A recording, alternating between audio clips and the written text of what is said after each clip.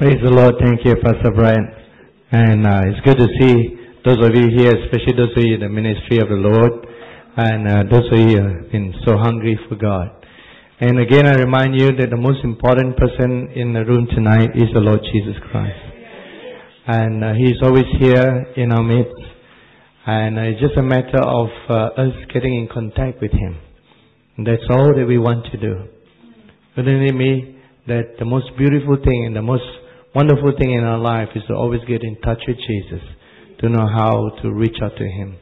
So let's go to God in prayer.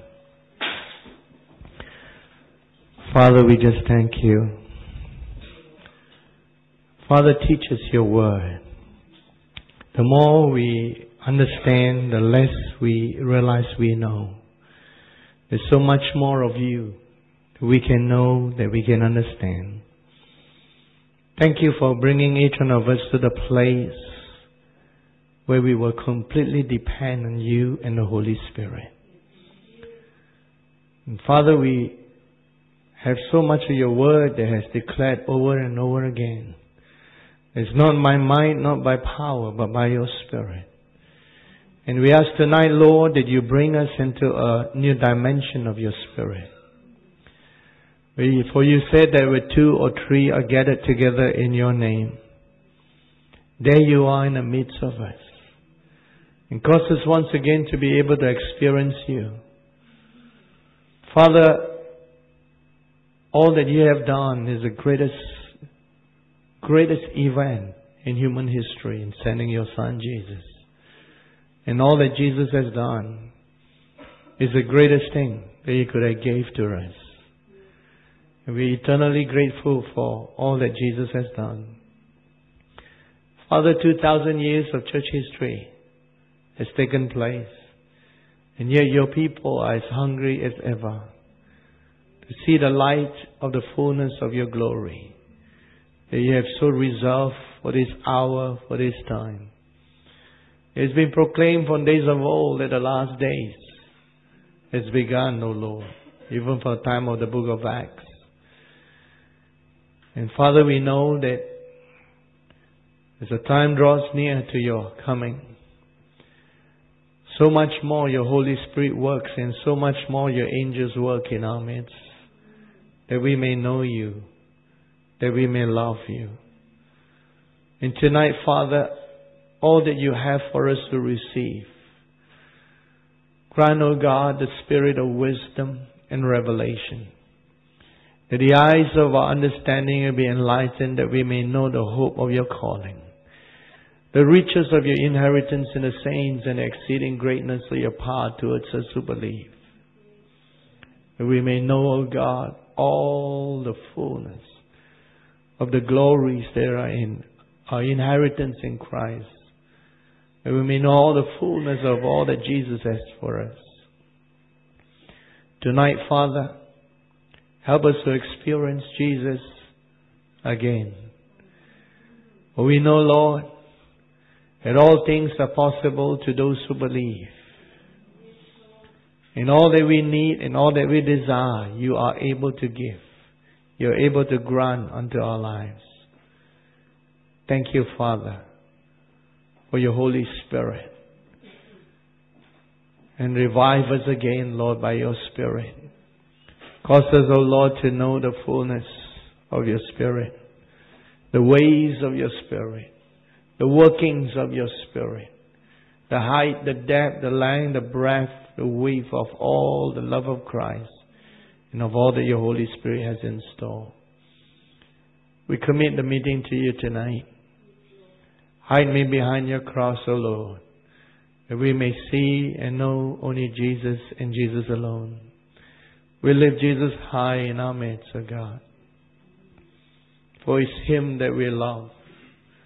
It's you that we love, O Lord Jesus, with all our heart, all our mind, all our soul, and all our strength.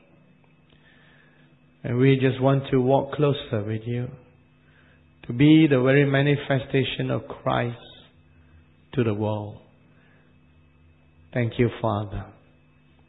Open our eyes that we may see Jesus tonight. Open our hearts and minds that we may experience Him tonight. and grant the working of your Holy Spirit in our heart and life, that we may receive the working of the Holy Spirit. For all that you do, Father, we give you the glory, the worship, and the honor. We thank you, Father. We praise you. We worship you. In Jesus' name. And everyone say, Amen. Amen. Praise God. Tonight, as we sit in His presence that God has brought upon our lives, let us uh, understand that between the natural world and the spiritual world is only a very, very, very thin line. In fact, if any one of us were to Stop breathing right now, you straight away be in the spiritual world. It's a very thin line between the spiritual world and the natural world. But there are so many things that we could hinder the spiritual world and the dimension from flowing. We've been touching about three types of revival. And uh, we talk about the revivals that come by the refreshing of God, revivals that come through the establishment of fivefold ministry, revivals that come to church growth. And uh, as we come to this point tonight, we're going to talk about some of the common themes in all the different revivals. And tonight I want to talk about the Holy Spirit. Whatever form of revival there is, if it is the first type where it comes as a refreshing from God, it's the stirring of the Holy Spirit from the throne of God. If it's that of the establishment of the fivefold ministry, is because the fivefold have learned to listen to the Holy Spirit and position themselves and allow the Spirit to work in their lives. If it's church growth, whether we like it or not, if a church does grow and more people come to know Jesus, they have in some way found their obedience in the Holy Spirit.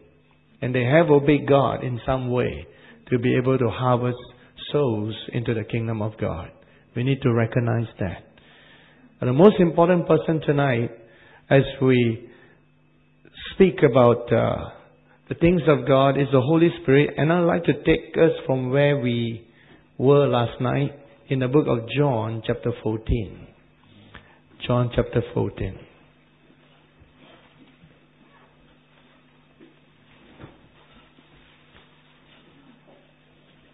Gospel of John chapter 14.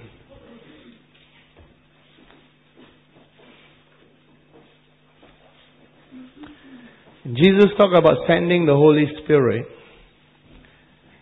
And He is here in our midst. But the difference between receiving a miracle and not receiving a miracle is a very fine, thin line that we need to negotiate. In the book of John chapter 14, Jesus talks about Holy Spirit in verse 17 and says, even the Spirit of truth, whom the world cannot receive because it neither sees him nor knows him. But you know him, for he dwells with you and will be in you. I will not leave you orphans. I will come to you.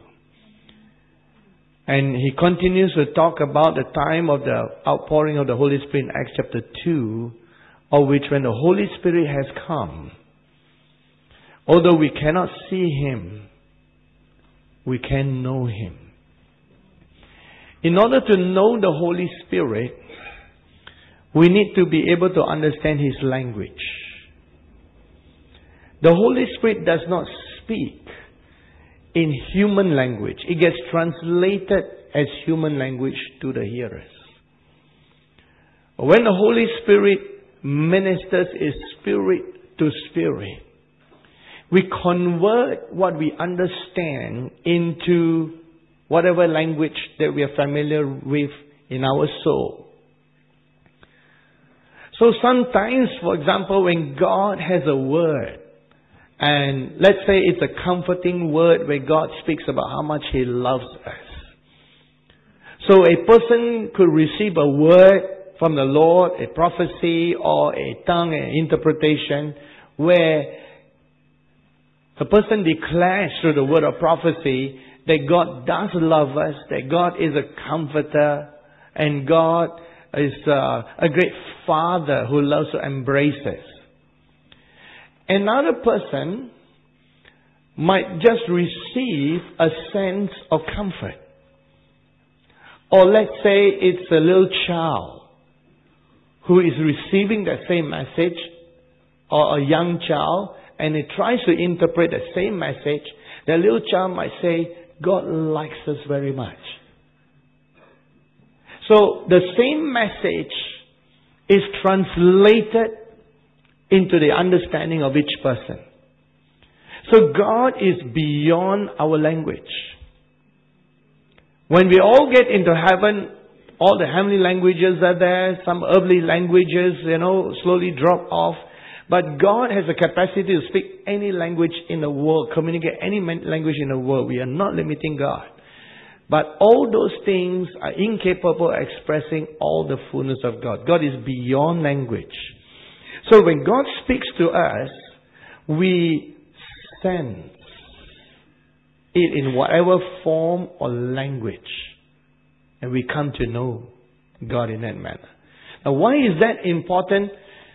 Because it's in that dimension that we can know the Holy Spirit. How can you know a person unless you know the language that they operate in?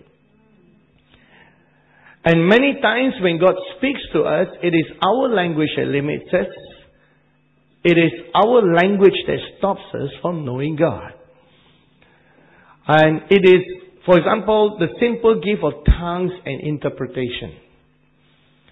It is an interpretation and not a translation.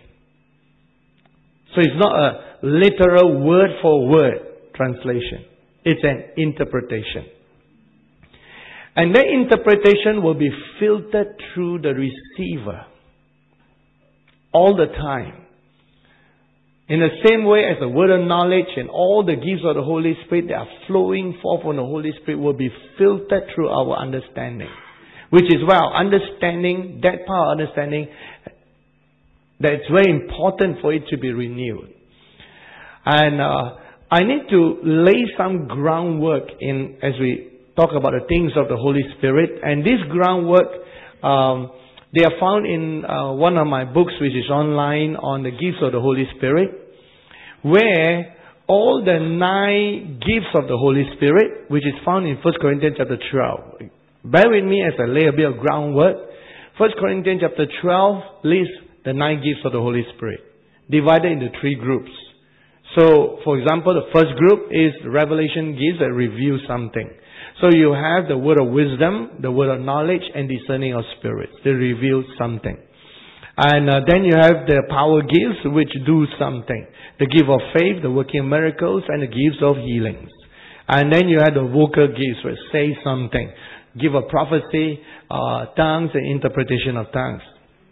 All these nine gifts of the Holy Spirit are related to nine fruit or growth of the human spirit which is many times what people don't realize and it mix the two together.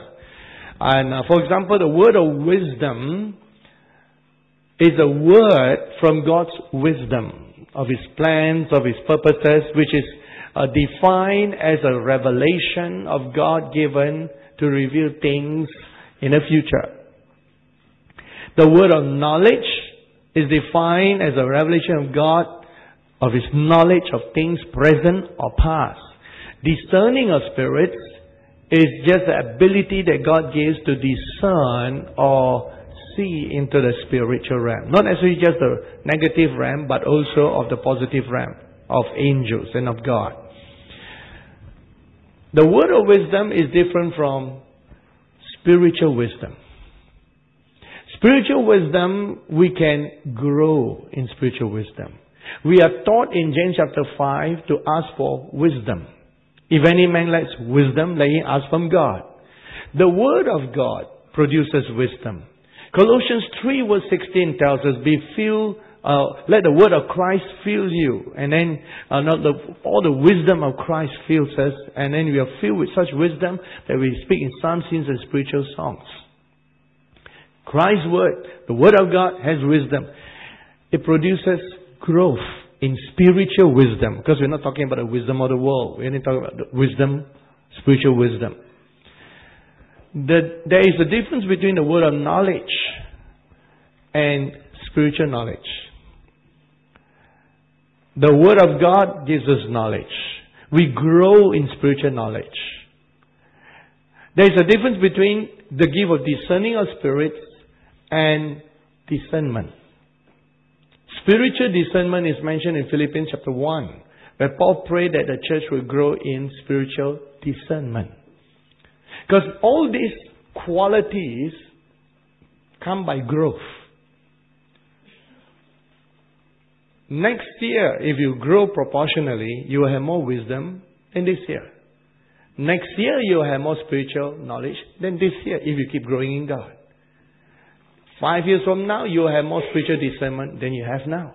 We are growing. Our, remember, our spirit man is growing. Last night we talked about how the presence of God can manifest in proportion to our inner man. The strength of our inner man which ties again to this growth of our spirit man. That's why I'm comparing the gifts and just laying a quick foundation quickly. And uh, then there is the gift of faith, which is a deposit given by God to a specific person for a specific time, for a specific task to perform. Then there is general growing by faith, Romans 10:17. Hearing, uh, faith come by hearing, and hearing by the word of God. So there's a general growth of faith. And then you also have uh, the working of miracles, which is a special work of the Holy Spirit.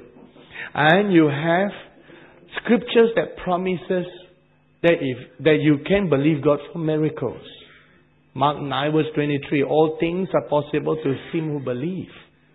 In Mark 11 verse 23, 24, about moving mountains. General promises of God.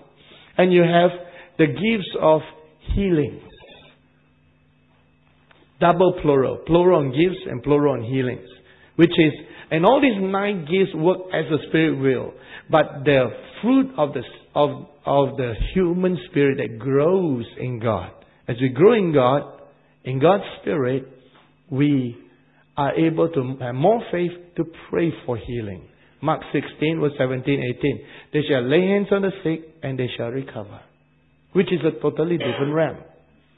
Because the same with uh, the gift of prophecy, which links to exhortation and growing in psalms, hymns, and spiritual songs, which is for everyone in Colossians chapter 3 verse 16 and Ephesians 5 verse 18 and 19. And then there is tongues, which is a uh, a message given by God through an individual to the people in an unknown language. And you have prayer in tongues, which is uh, something that God gives us an ability from us to pray to Him in an unknown language which our mind doesn't understand. Can you see that when we have the prayer language of tongues is from us to God? Doesn't need interpretation. The gift of tongues is from God to us. That's why it needs interpretation. But you can see that here in this area, it's a human spirit thing. 1 Corinthians 14 verse 14 and 15. If I pray, in my spirit pray, I pray in an unknown tongue. And I will pray with my mind, I'll pray with my spirit, Paul says. I'll sing with the spirit, I will sing with my understanding. So he's talking about something in which every believer, when they are baptized in the Spirit, have the ability to bring forth. And a lot of teaching out there confuse the two. That is why you have Christians who lump everything together and say, wait, there are scriptures that say not all speak in tongues. And then here are other scriptures that seem to show that everybody does. Because they cannot see that there are different categories. One is a prayer language to God, one is a message from God. But for the person speaking in tongues, tongues is tongues. He doesn't understand as he delivers. You don't understand as you speak forth to God. In quality and essence, they are the same. But in application, demonstration, and in outworking, they are different. You begin to see this pattern. And the same way with interpretation of tongues. There is an actual gift of interpretation of tongues. And then in 1 Corinthians 14, Paul says, when you, those who have a tongue, pray that they may interpret. Now, if there's someone with a gift interpretation, why should I pray to be interpret? Unless he's talking about also a growth in understanding the interpretation of tongues. So when you put all these scriptures together, side by side, analyze every single one, leaving nothing out, you can only one conclusion. There are nine gifts of the Spirit that work as a spirit will, and nine growth of the human spirit that comes by growth. They seem similar in essence and in quality, but in application, demonstration, operation, they are totally different. And it is possible, it is possible that if you keep growing in God, your human spirit keep growing in God, that the level that you operate here is almost equal to someone operating a fresh gift there. For example, in terms of, let's say, the word of wisdom, which is a revelation that God gives of being something that is going to occur in the future, a revelation of things future. If you have spiritual wisdom, sometimes you could discern and know from a course of action or from counseling the future direction or how those things will take place by your spiritual wisdom in God. So, so our growth in God can come in the same way. In the same way with discernment and discerning of spirits. It takes a gift of discerning of spirits to discern the spiritual world. But as we grow in spiritual discernment, which is an actual Greek word found in Philippians 1, in Paul's prayer for the Philippians, that your love may grow in discernment. That as we grow in discernment, sometimes you could discern whether some things are happening of spirit or flesh, satanic or angelic, whether they're of God or of the devil. You might not need the gift of discerning of spirits to, to take place, but you could discern. Your discernment grows. Now, what's the purpose for both then? See, as you grow, no matter how much you grow, God can always still add on top of that to what you have grown. And so, a believer who actually keeps growing in the Lord can sometimes function almost at the level that it looks like the gifts of the Spirit. Merely because they've been walking in God and growing in God. Of course, by the time they function with the anointing upon, with the actual gifts, it becomes way more powerful than the person can. So, for a simple demonstration, like uh, the gift of tongues, which is the simplest uh, gift to operate, and uh, that we could teach uh, people the difference between them. That even as we have tongues and interpretation of tongues, we could grow to the extent where in our spirit we are able to discern and sense, not with our understanding, but with our heart, whatever the sense, not the translation, the sense of what is being spoken. Lever anas nika lover an iveriatanas nasni. The Lord, the Lord God, is here and calling unto you. Reniki afom lisneval as mor am insni ashkanasna. Do not doubt, my children, for I, the Lord your God, am indeed in your midst. If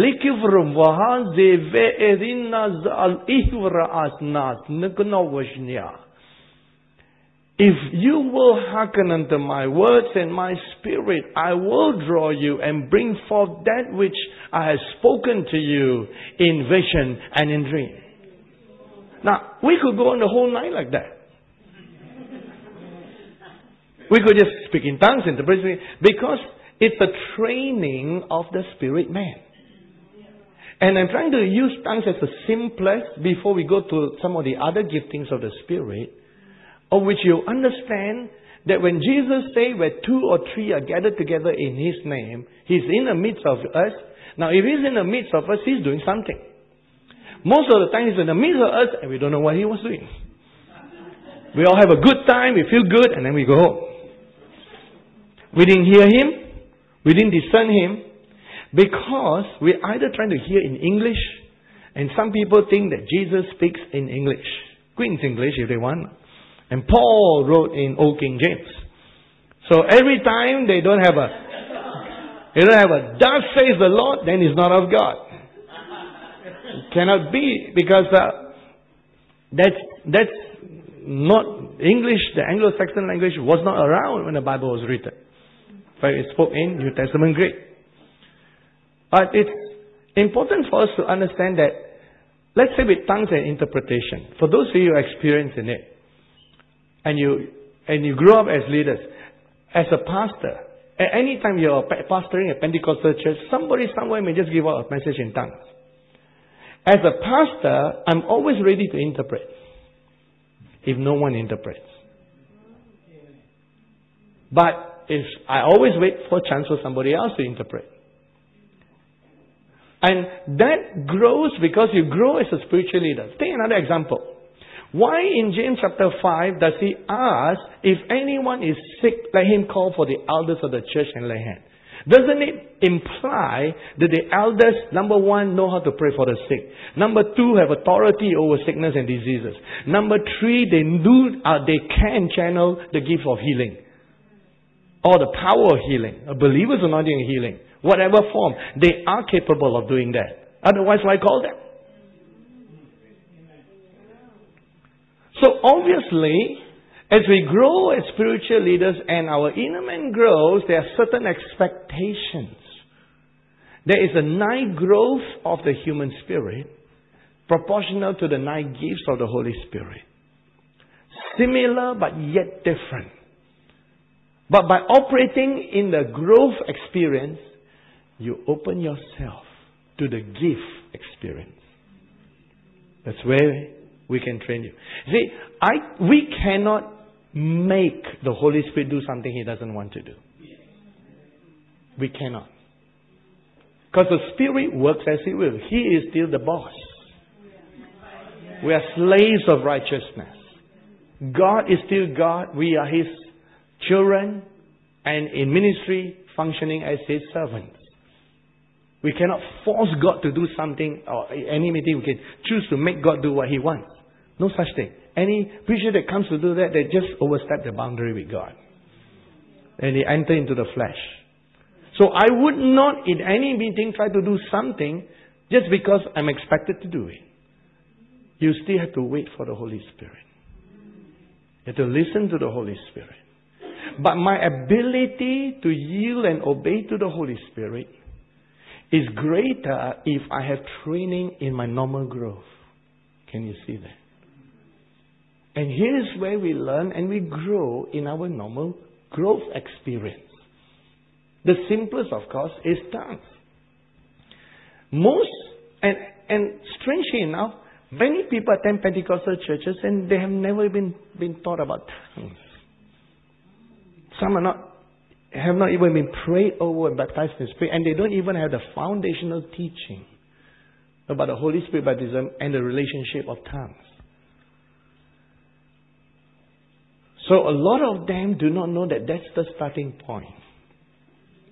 When the Holy Spirit came down, Acts 2, verse 4, they began to speak in other tongues as the Spirit giving utterance was the starting point or many other experiences. You see, why did God choose tongues? Well, we can give you some of our understanding, but primarily I believe, you know, is because tongues goes beyond our understanding.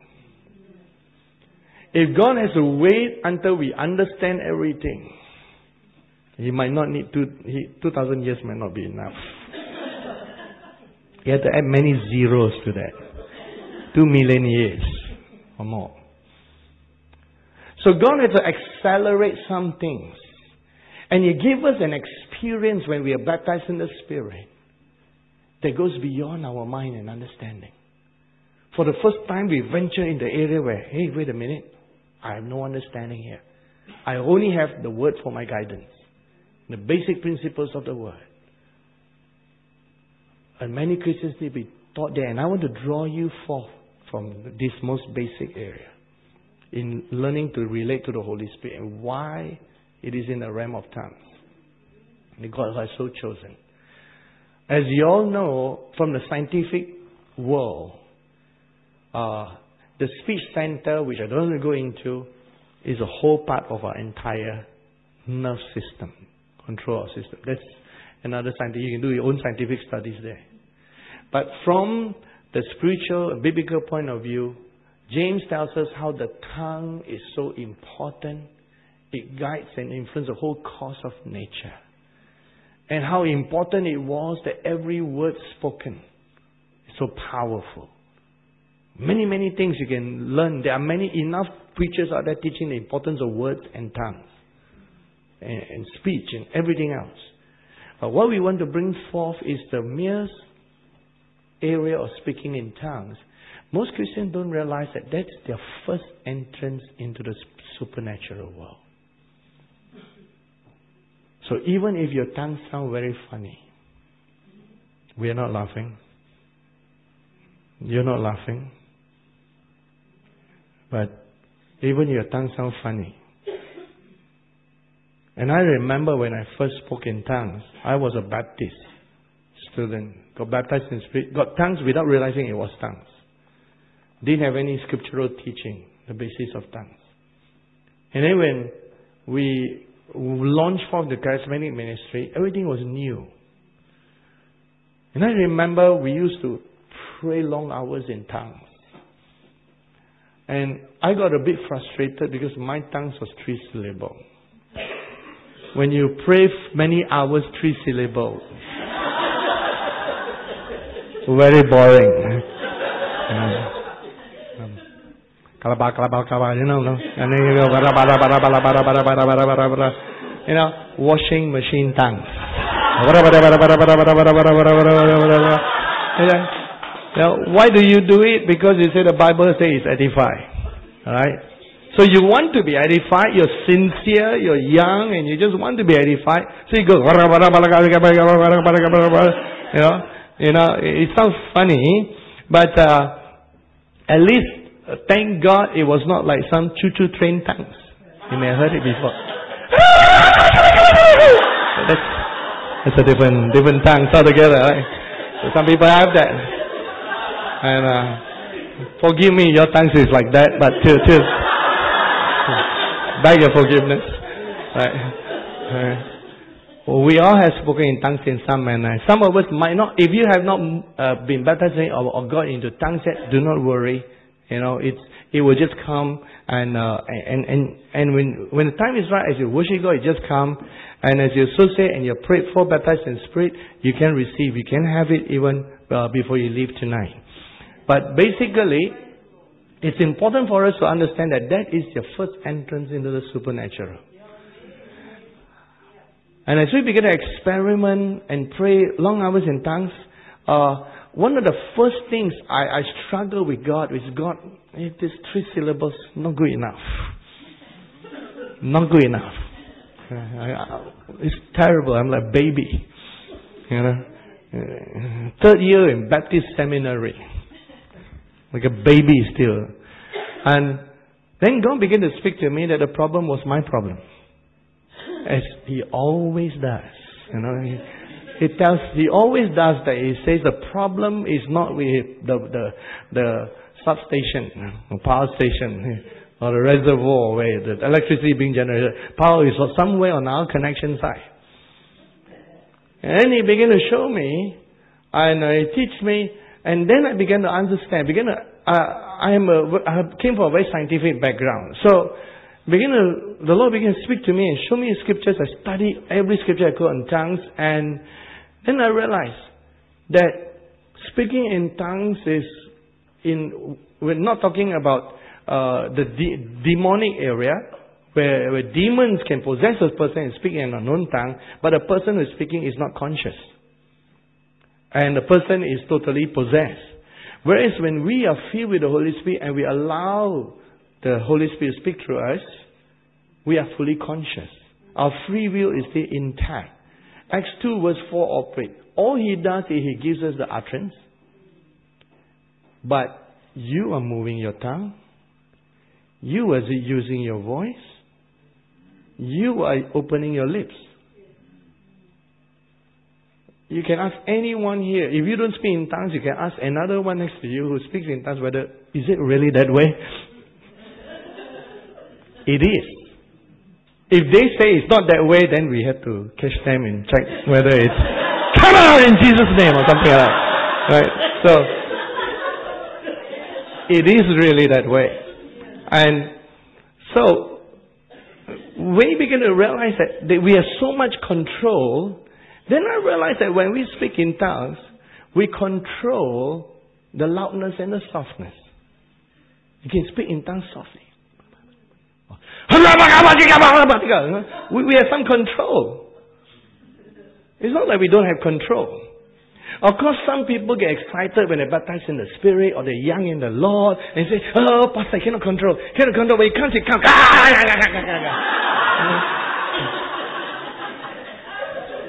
They just need a bit more training. Now, the reason we touch on all these, when the Holy Spirit really starts moving, there's always an element of flesh mixed with the spirit. And if we want the pure stream, we must know which is which. And if we are over eager to, to, to allow everything under the sun, then, you know, everything under the sun really does come, which you might not want. And so we need to realize that now we need to allow certain room and liberty it's always a balance in each church and in each movement. The Holy Spirit is going to bring forth a mighty revival here in New Zealand and in the southern hemisphere in Australia.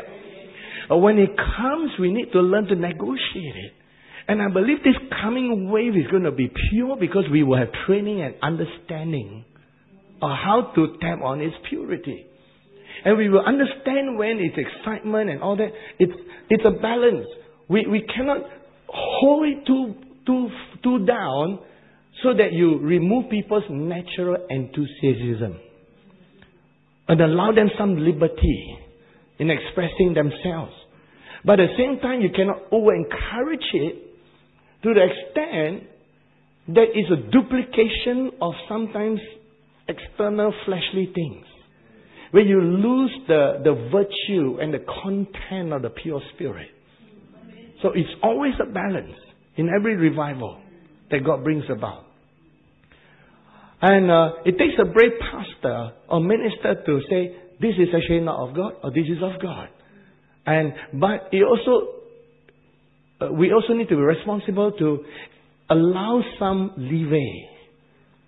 As any good pastor knows that, you know, when a member is very enthusiastic, want to do everything, you don't kill the enthusiasm, you just channel it in the right direction. So we have some control, loudness, softness.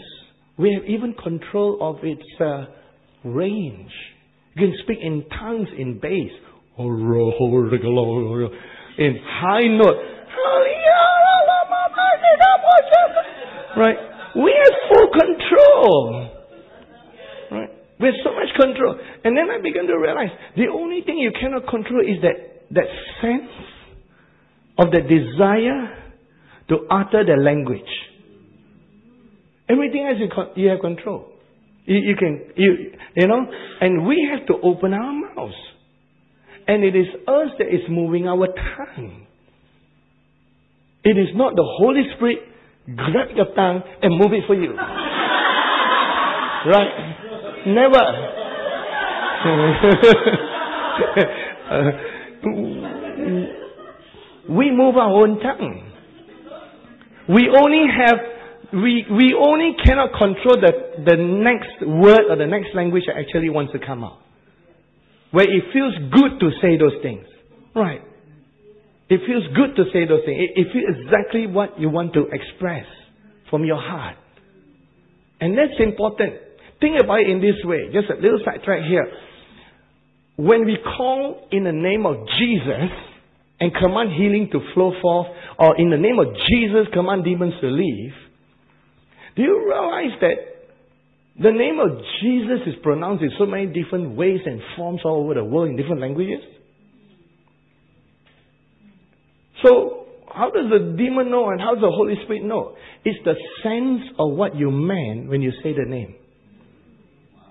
During the time of Jesus, the name Jesus was very common. There, there were other people. There was another person, in fact, in the New Testament also called Jesus. So sometimes they say in the name of Jesus of Nazareth. Thank you. That's the one I, I meant, not the other one in Timbuktu. Uh, Or in South America, you know. You go climb on the street in South America and say, uh, Jesus! And you got a few thousand of them show up. so how does the Holy Spirit know and the demon know to obey you? It is because when you say in your heart, in your mind, you meant the one in the Bible. So he's answering, he's answering that prayer for healing or to cast out the demon, not because of the way you enunciate his name. We would be in trouble if that was what it was supposed to be. So you say, you know, in the name of Jesus! You're slightly Texan, slightly American. In the name of Jesus! And uh, now angels check with God and say, you know, is he referring to you? Shall we act? and, uh, you know, say, I don't think so. He, he didn't pronounce my name exactly right. it should be Jesus. But actually, in the Greek, it's Jesus. So, they don't have English in the Bible time. So they still is command, you know, in the name, you know, Onoma Isus. The demons obey. Do we use Onoma Isus as, as a uh, special phrase or something? No. The essence of what they mean. Look at it. Jesus, Jesus, Jesus. Indian, Yesu. Uh, one of the Chinese dialect, Yasao. Like a bar of soap, some of you. I'm commanding, I'm commanding demons to come out in the name of Yasao. you think I'm selling you some soap? How does the Holy Spirit and God knows, you know, what we're doing? Not by our enunciation, by your heart. The essence of what you intend. So in the same way, when the Holy, when, when we are speaking in tongues, I begin to understand. It's not necessary that your tongues is so precise. Although it has been known to those who yield to God that they speak really in ancient languages and known languages in the world. When I understand those things, that it's more the essence of what I'm releasing. And that I am in control of both the volume and uh, of those the, you know, the pitch and in the control of, uh, of, of how extended it is. Then the Lord began to show me that for a lot of people, their own habits are holding back their tongues. I hope this helps you tonight because if your tongue is stuck, in a certain syllable is your own habit. Just like some Bible always speak and I say why. Uh, you can hardly hear them. You don't know what they're talking about. You just a, just a habit. so when they get born again, baptized in the Spirit, the habit of speech is still there. Like for example, I still retain some of my Asian accent. I couldn't help it. Came here when, you know, I haven't picked up your New Zealand accent or Australian accent. And uh, so, and in an accent, some are nasal, some use different movements more in certain language. So I found this. Since we are the one moving our tongue, we are the one moving our lips, we are the one using our voice, the only thing was the language that was coming out that we didn't control. It was that utterance, the, the urge to say certain things, the desire to say those things and release those sounds. Then I realized that some of the my own, I began to understand, analyze. I, I, I hope that by conquering my situation, it helps you. Then I realized why I was stuck with three syllables. Because all I was allowing the tongue movement was enough enough room where you can make three syllables. And when I realized that that if I allow the length, the breadth, the width, the height of your entire mouth, oh, your, your, you allow your tongue, the length, the breadth, the width, the height of your your your big or small mouth, whatever. the languages started flowing. I told you I started enjoying my tongue for the first time no longer embarrassed. And and all I I I found it changed languages. Some of you notice your tongue change languages according to certain things. That it depends on the essence of which what I'm concentrating on. Sometimes when I, I'm more in the heavenly realm, it seems to be different language. You know, oh, yeah, oh, it's in the oh, oh, enormous.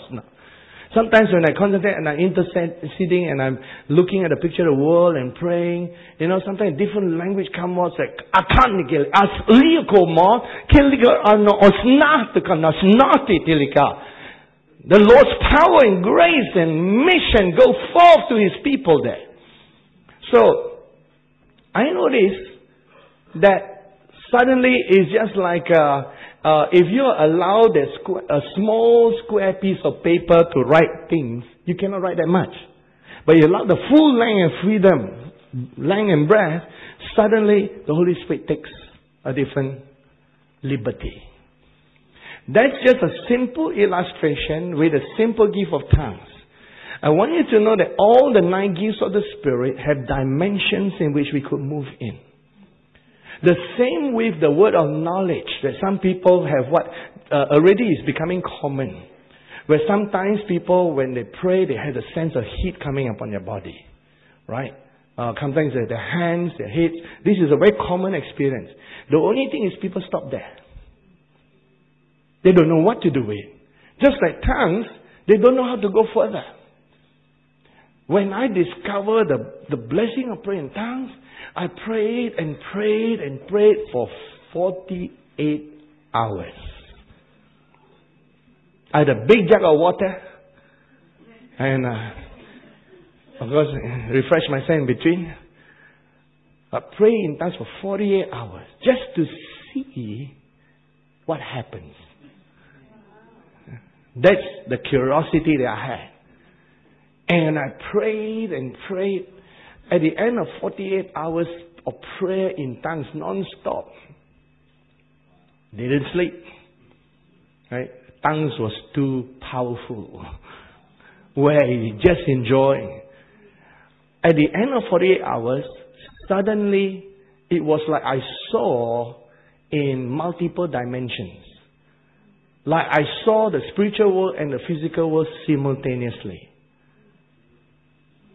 I started noticing it because I was in the room and I was praying and praying and enjoying myself and somewhere between 24 hours and 48 hours, I think it's about halfway in the second day, saw this demon running across the road.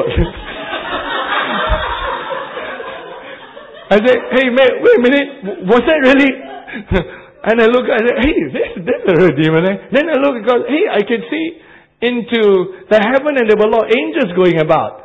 And I started realizing that, hey, the spiritual world just opened and I could, I was like living in an open vision.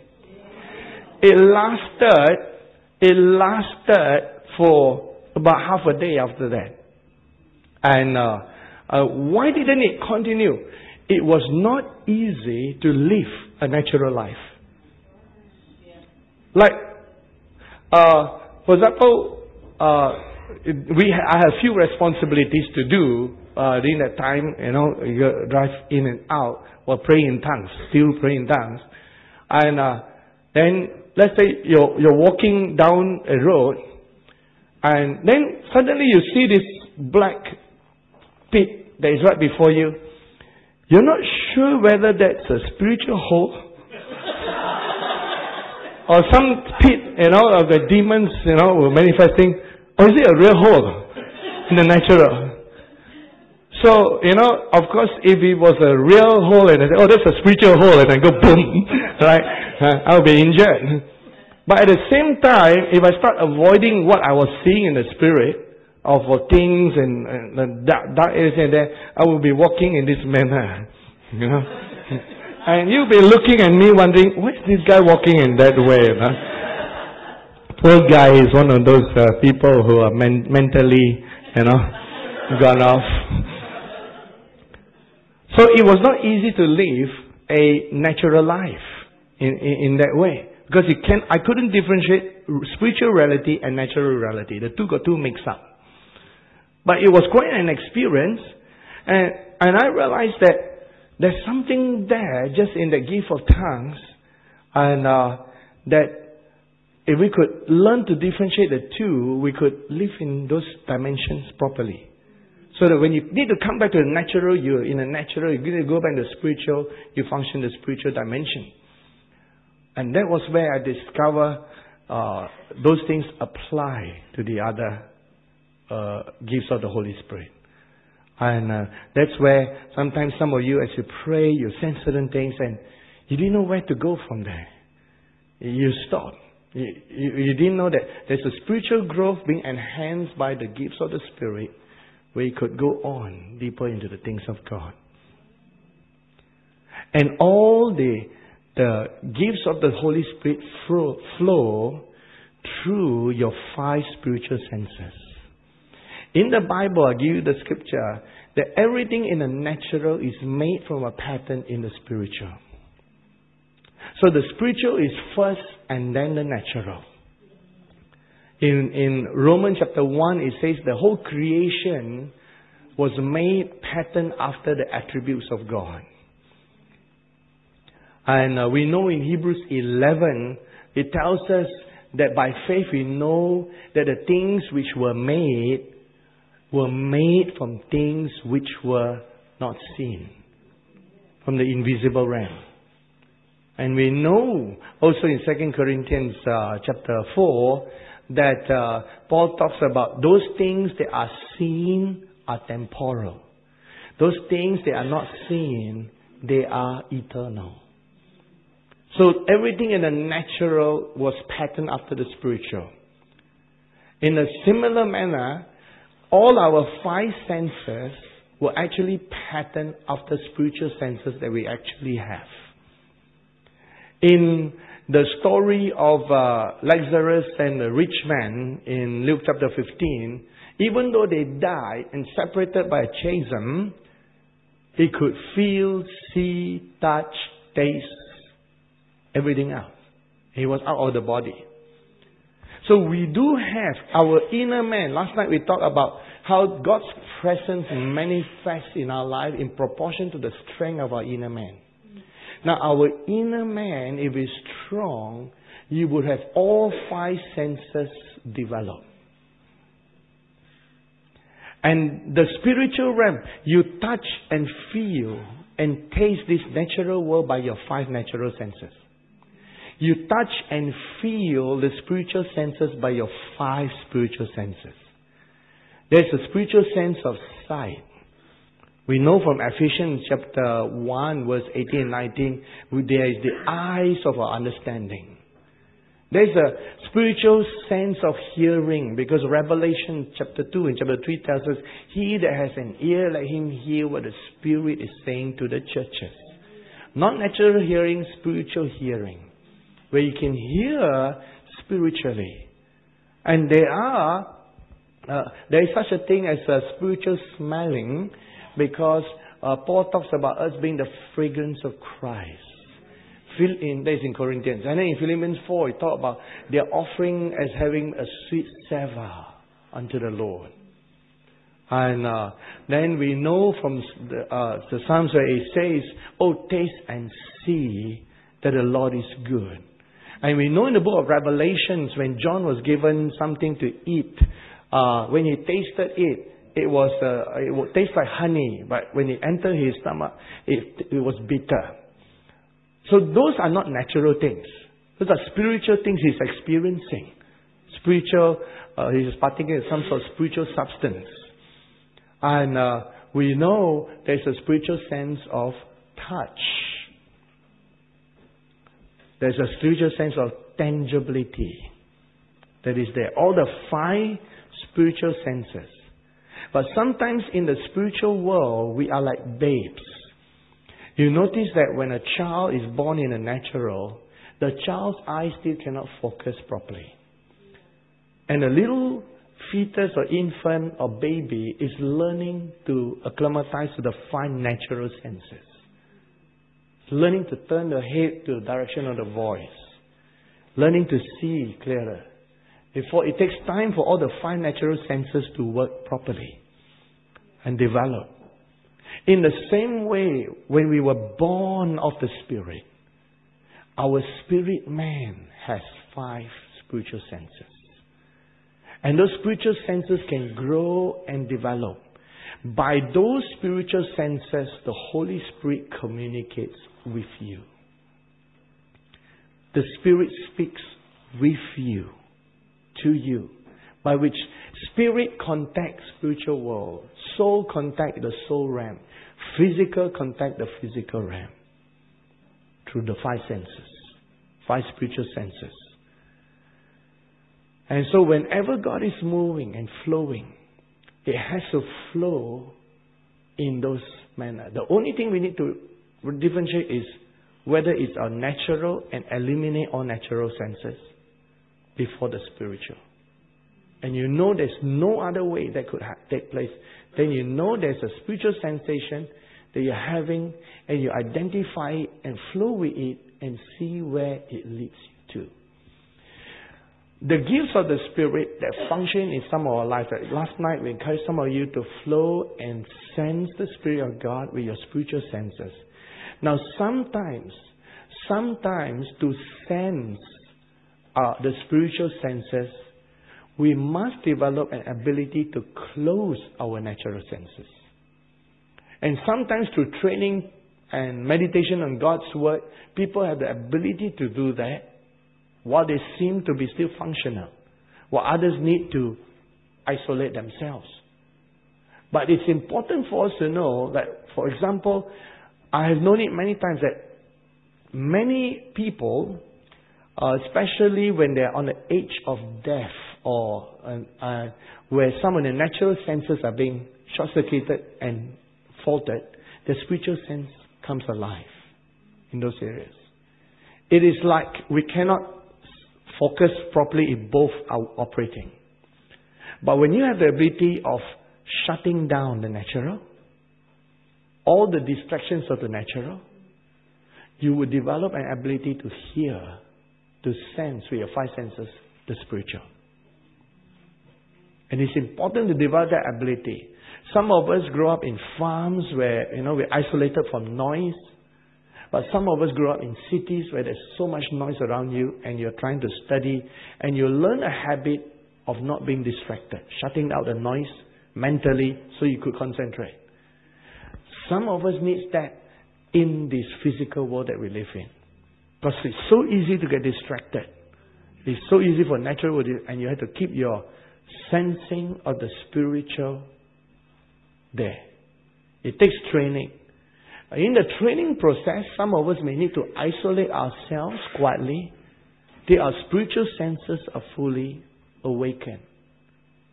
And uh, in the book of Hebrews, chapter uh, 5, we talk about those who desire, let's look at that in Hebrews chapter 5, to grow. The difference between uh, maturing and not maturing has to do with our senses. Hebrews chapter 5, verse 14, 13 and 14. For everyone who partakes only of milk is unskilled. Hebrews 5, verse 13 and 14. Everyone who partakes only of milk is unskilled in the word of righteousness, for he is a babe. But solid food belongs to those who are of full age. That is, those who by reason of use have their senses exercised to discern both good and evil. Now it looks as if that the word senses, notice plural. It has to be spiritual sense, and at some point it, there is the sense of the conscience alone. That's how limiting you can put that verse to. I want to give opportunity to various interpretation of that scripture. But I want to expand it a little bit, even to define the word conscience, which is the Greek word sunaidesis. And uh, the word conscience has been translated in the Bible in general as a consciousness. Conscience has been used in our fallen world to discern right and wrong. That's a part of us, the English definition we know. But it is more than that. It's a general consciousness of the spiritual realm. Of course, in that realm, you know what is good and what is evil.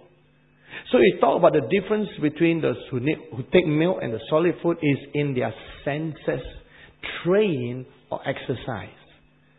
Now, I want to point to a translation of sunaidesis, which is the word conscience, in uh, the Bible in Corinthians to show forth that the basic understanding includes, and I have analyzed the word sunaidesis, which consists of uh, two Greek words combination of sun, which is together with, and the word uh, desis, that uh, in general it speaks of a consciousness. Let's look at uh, Corinthians, First Corinthians, where we talk about uh, our conscience, chapter 8 eating idol food, the right or wrong of eating it. So in the end, he concludes according to a person's level of consciousness of what is right and wrong. 1 Corinthians chapter 8, verse 7. However, there is not in everyone that knowledge, for some with consciousness of the idol until now eat it as a thing offered to idol, and their conscience being weak is defiled. Now, the word consciousness and the word conscience in that verse is the same Greek word. But you try to translate both as conscience, it makes no English sense.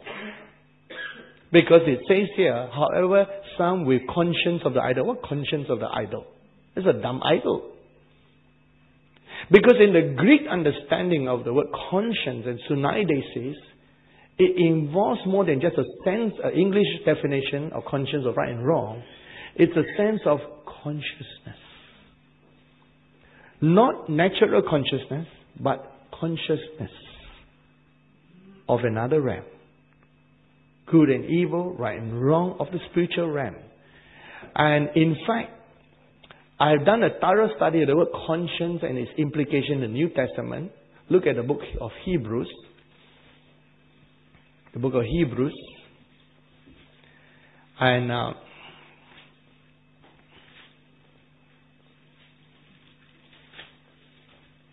in the book of Hebrews, he speaks of chapter 9, verse 14. Something happening to our conscience. Something supernatural in the New Testament. Hebrews 9, verse 14. How much more shall the blood of Christ, who through the eternal Spirit offered himself without spot to God, purge your conscience from dead works to serve the living God? What is He purging out? What, what dead works is inside our conscience or consciousness. Here, dead works represent your consciousness of the law, your consciousness of the things of this world that are dead and separated from God. Consciousness of everything that has deadness inside. Not just right and wrong, everything. But the blood of Jesus has cleansed your conscience so that your conscience is now no more an organ, an invisible spiritual organ that senses right and wrong. It becomes an organ that sends the consciousness of God, consciousness of spirit world, and consciousness of the level of faith. Obviously, in Romans 14, when we talk about conscience, and 1 Corinthians 8, when we talk about conscience, he's referring to people who are weak in faith, strong in faith. And he's talking about their conscience sensing their level of faith. Faith, faith is faith. Belief in God. The real genuine belief from the heart. So our conscience is no more an instrument just to sense the Ten Commandments of right and wrong. But the conscience in the New Testament has become an organ to discern our faith level coming forth. That we walk according to our level of faith and revelation in God, of our own consciousness of what God has revealed to us personally. So that, for example, and not one Christian may have walked with God so, so closely that they have faith to live without medicine. They believe they can be in divine health. That's their real faith level. And then a new Christian who's new to God, and their faith and relationship with God just developing, and they see the other brother and they want to follow, but in themselves, their real faith level is still at a level where they may need to take medication. So they may need some natural help. They cannot go all the way without. Their conscience will tell them that they need to believe God, pray over the medicine, take it still, and be healed and whole. Which is different from the first brother. So the conscience in the New Testament, which is a different level of consciousness, has has now played a different role from the Old Testament or old role that it used to play alone. It still plays that role of right and wrong, of course, but it's expanded and increased. Turn with me to the book of uh, Timothy. Timothy.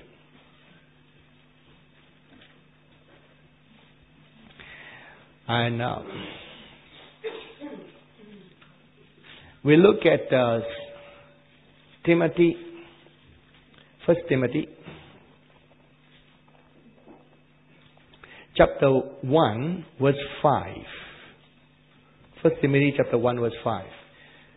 Now the purpose of the commandment is love from a pure heart. Again, it's kataros, pure heart. The same pure heart as in Matthew 5, verse 8. From a good conscience and from sincere faith. The purpose of command is a good conscience. Then you look at verse 19. Having faith and a good conscience, which some having rejected concerning the faith have suffered shipwreck. So our faith, our conscience tells us our level of faith. As to whether you could launch yourself in the walk of faith at that level or not. It's a different function of the conscience altogether. The general idea of conscience, I bring it before you, is a consciousness of the spiritual realm. After all, how can we tell what is right and wrong besides God's word? Because there are many things outside God's word, in between the lines. How do we tell what is right and wrong? And we know we need a measurement. We cannot just uh, do it like every like the book of Judges. Every man does what is right in his own eyes. There has to be an absolute of right and wrong. That absolute is based on who God is. And our conscience or consciousness is linked to that. And that absolute right is broken down in our individual lives so we sense and walk with the level of rightness with God as we grow accordingly. That's where the road of conscience is. I talk about this consciousness of God in the spiritual world so that we could operate. The five senses, spiritual senses, are how we encounter the spiritual world. And some of us, like in the natural, are stronger in some sense than another sense. In the natural, some of us are stronger in our hearing and ears than other people. Musicians who could hear tones and miss uh, um, uh, uh, wrong tone that normal people might not be able to hear. They train their ears. Musicians train their ears. Artists train their eyes. And uh, their very profession requires them to be able to visualize and see colors before they bring it forth. And uh, uh, athletes train their body, their consciousness of their body, every fiber of their being to bring into play. So some of our natural early professions rely more on some senses than other senses. And we, we by, by virtue of training and by virtue of following those professions, we develop more acuteness in those natural senses.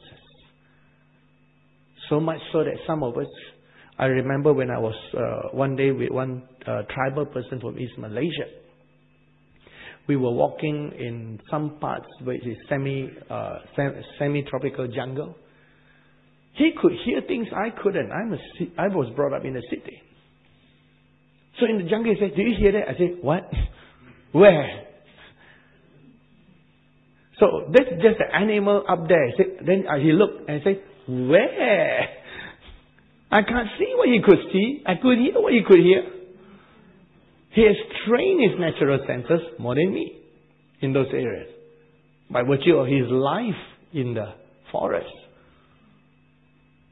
So, in the spiritual world, some of us have a natural inclination to some areas more than others. Which is why last night, when the Holy Spirit began to flow, some of you you have a leaning towards your touch sense spiritually. So you could begin to feel some things called I call intercessory sensations. And uh, and that is sometimes used as you as you saw Pastor using in his soul, where he sensed the pain in the soul or in whatever area. It could be used to sense the pain of another person's physical body. Some of us are more inclined to hearing. Like uh, one of the pastors mentioned, he has this word that comes to him, a word of knowledge. And he receives it in word form. Because your hearing, your inner hearing is more sharp than your feeling. Because as we begin to move into the Spirit, some of you might have gone back last night and say, I don't know, I don't feel anything. okay? Praise the Lord. yeah. Now, we realize that in the natural, if we have, if we all have five natural senses, if one or two of our natural senses are gone, we are more limited than others. That would be affecting us. In the same way, in the spiritual, if one or two of our spiritual senses are not as functional, we are more limited. And so, we need to understand that unless you really have all your five senses globe, non operating, which is very rare. Very extremely rare. I don't know, at the top of my head, I think, you know, it's as rare as probably one in 6.5 billion people. Which would mean that at this very moment you could be the only one. Since there are only 6.5 billion people on earth. we do have at least some of our spiritual senses functional. So for some of you, it could be your eyes, where you're seeing, but you're not sure. You're like a, a baby. Do you know a baby cannot focus the eyes yet? And even in the physical, when you signal to the baby, the baby seems to be uh, you know, looking all over the place. So in the spiritual, the Holy Spirit is trying to show you some things in the spiritual realm, and you're like, is that me? Is that really my imagination, or is it really? Did I see something? You're not sure. See, it's all this uncertainty, and no one taught in those areas. So here we are going around with you know, half-baked spiritual senses. and it's terrible because we don't know. And all the time we're in doubt. We don't realize all these areas can be trained. That God has actually, which is what we always find out in the Bible, that God has already given. We were just not looking in the right places. So some of us, our eyes are more sensitive to the spiritual realm. And we see like almost the eyes of our imagination. And some of us, our smell can sense it more. I know one particular evangelist who has a heightened sense of spiritual smell. He can smell demons. And I asked him, can he smell angels too? He said, still developing. so I said, why of all the things you want to smell, you smell demons. and uh, so, you know, uh, and he he came from a background where he's a former uh, kingpin gangster. So he was converted, born again, baptized in the Spirit, became an evangelist. And, and so he has a keen sense. I know be walking down the street with him, normal place. He goes, demon in that person. so I said, where? He said, there. That is his smell. You know, I, I don't have that, that same area. You know, I don't think I want to. How bad the demon smells. right? And then people come to the front, you know, to be prayed for, you go.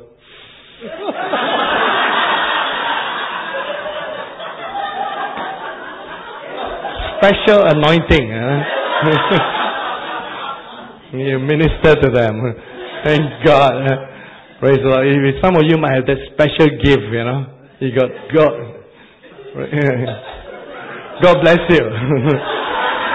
right? And uh, so you got extremely developed sense of smell. Some people experience uh, uh, taste. taste. I only had that one time. And I was praying for a person, I was new to spiritual sensation, and I was praying for a person, suddenly there was a bitter taste in my mouth. I didn't know what that was. I knew that I did not have any bitter herbs before for the last 48 hours. And I, I, you have to eliminate the natural. Remember, don't jump to conclusions. You know, don't, you know, sometimes you say, you know, and you, you feel some pain, and somebody here has a backache, you know, it's your own backache. Sensing. Trying to place it on somebody else. So, you have to eliminate all those things, you know, of your own or people around you. So we we have to to eliminate those things. I eliminated all those things. This is very strange. And and I went away still wondering. But a few days later, the person, uh, the, the, the person some situation where the person we were praying for actually was suffering a deadly sickness, and uh, the person died. And slowly I I realized that that was a taste of death that I was sensing in my own way. Now remember, it may be different with your lives. Okay, we all slightly feel differently. Uh, we are all unique. And our sense might be slightly different. But we had to figure it out for ourselves. Remember, manifestation, interpretation, then application. So once I understood it, Sometimes when I minister, I stand in front of someone and I get that taste again. I knew there was a spirit of death. And it would be very easy to tell the person, look, you know, there's a presence of death here. We either take authority or we find out if there's an open door that you need to close. So the ministry becomes sharp because I have found and discovered the manifestation, interpretation, and I could apply it. And it's just that tongues and interpretation, all the other gifts of spirit could flow in that manner. But however it flow, I want to bring forth that all these things that we're having are in the Word, although I have been sharing much without quoting the scriptures. Look, turn with me to the book of John. I'd like to give all the scriptural basis. John, the Gospel of John. When Jesus talked about the Holy Spirit and His coming and His work in our lives, He says here in verse 26, John chapter 14, verse 26, but the Helper, the Holy Spirit, whom the Father will send in my name, John 14, 26, he will teach you all things and bring to your remembrance all things that I said to you. Now, notice very carefully the work of the Holy Spirit. He will show you all things and bring to your remembrance. The act of remembering is a thought process. It's thoughts. So the Holy Spirit, when He works, He does affect our thought process. So that sometimes your inner hearing is so close to your own thought process that you wonder, is this my thought or God's thoughts? Because there's a thought process coming forth. Now, just to help you hear the Spirit clearer, Remember how some of you, when you were seeking something from God or direction or you're wanting to learn, when you read the Bible and the Bible produces thoughts in your natural mind, but you get some other thoughts flowing that seem to be speaking to you, teaching you things that you were reading. That is the voice of the Holy Spirit in your thoughts. That was what it sounds like. Sometimes when a preacher is preaching, or man of God is preaching, and you're hearing the sermons and the thoughts that are flowing forth, in your thoughts and mind, another type of thoughts flow in a different direction with a revelation that flows into something you were seeking God in. That is the Holy Spirit doing the thought process. So the Holy Spirit, my friend, is closer than you think. You just didn't recognize Him. You see, just like sometimes we all we all have been so deceived by any we are negatively geared. So that, for example, when uh, when when uh, uh, we feel God doesn't uh, we feel God doesn't hear us, you know, God doesn't hear me at all when I pray. Then God really doesn't hear you? Yes, He doesn't hear me. All right, scold God. Say something terrible about Him. You want me to scold God? Yes. Since He doesn't hear you, can say anything, right? He doesn't hear you. scold Him, scold anything you want. He said, but, but He will, yeah, He will what? he will hear me because we are negatively geared. Think about how conscious people are when they do something wrong. Oh, God knew.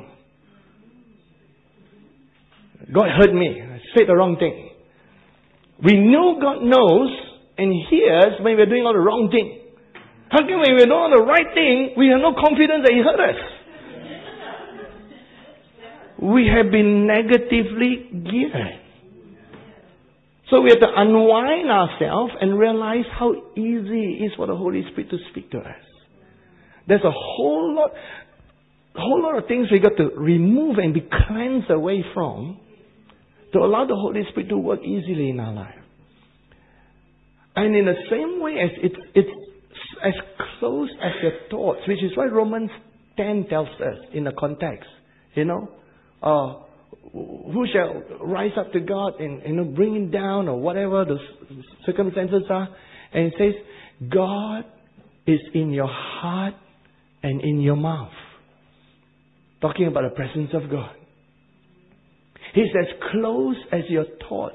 It's just differentiating the line of your thoughts and when there's a Holy Spirit quickening, a different line of thought. How will I know, you say, with the Holy Spirit? Test it.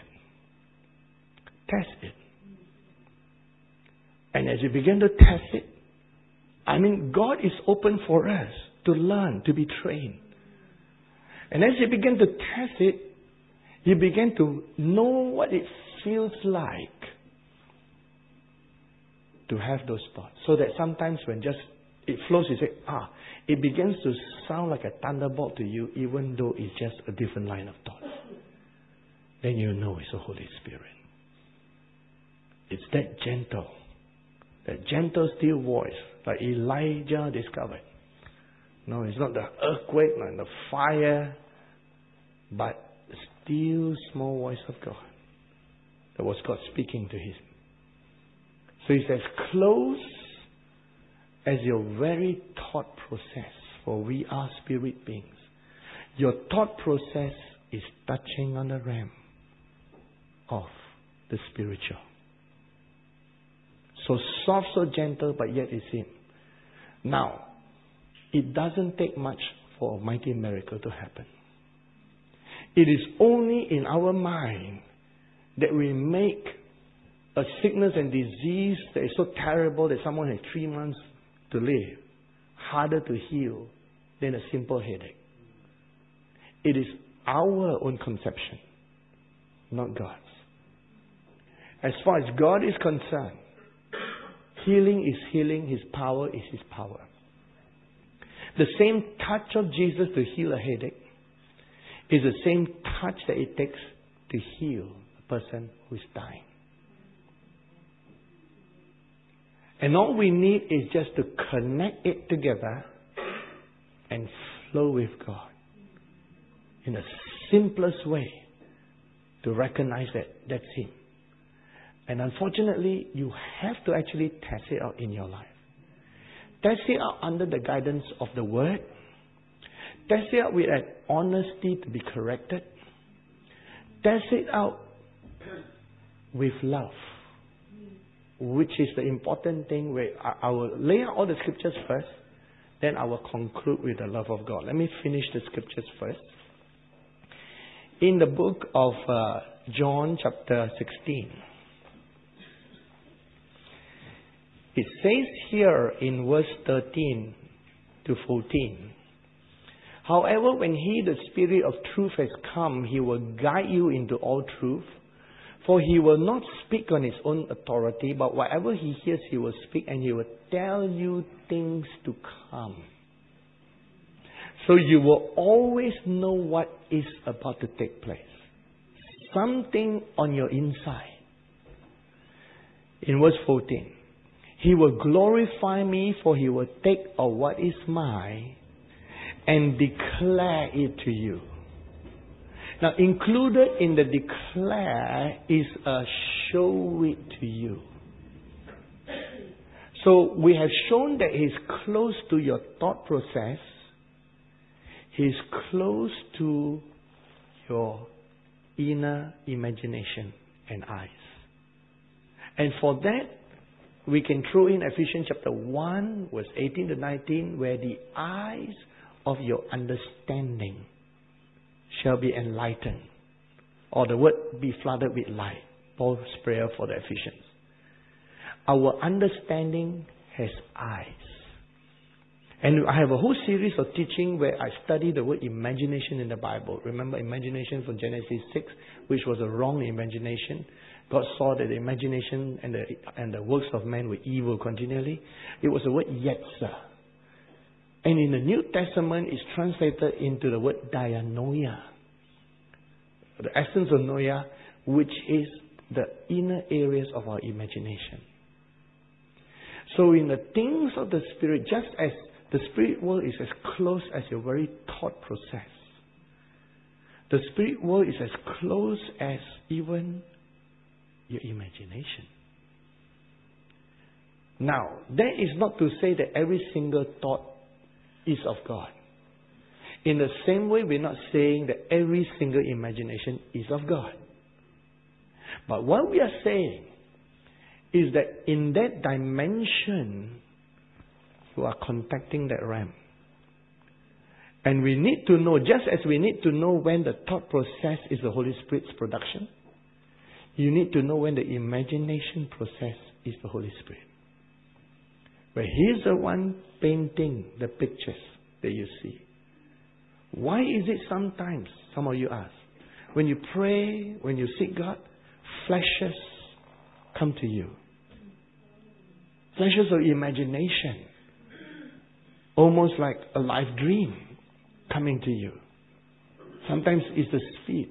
And I've learned in the area of flashes, just like I learned about tongues and interpretation, where I can just speak in tongues and interpret, speak in tongues and interpret. The Lord will teach you if you hearken to His voice daily. I could teach by speaking in tongues and interpreting the whole thing because I trained myself in the gift in the growth area. In the same way, I've learned that the realm of the imagination also has many dimensions. Oh, yeah. Talk about praying times 48 hours. It's imagination stretch, stretch, stretch, stretch. Here is where we get for additional tips, right? but here, let me give you a few examples. When I began to talk about realm imagination, I learned that it's as close as your thought. And the imagination sometimes is the stirring of the spirit, showing you things in the depths of your heart. I began to understand some things too, some principles involved. One of the principles was speed. So what speed?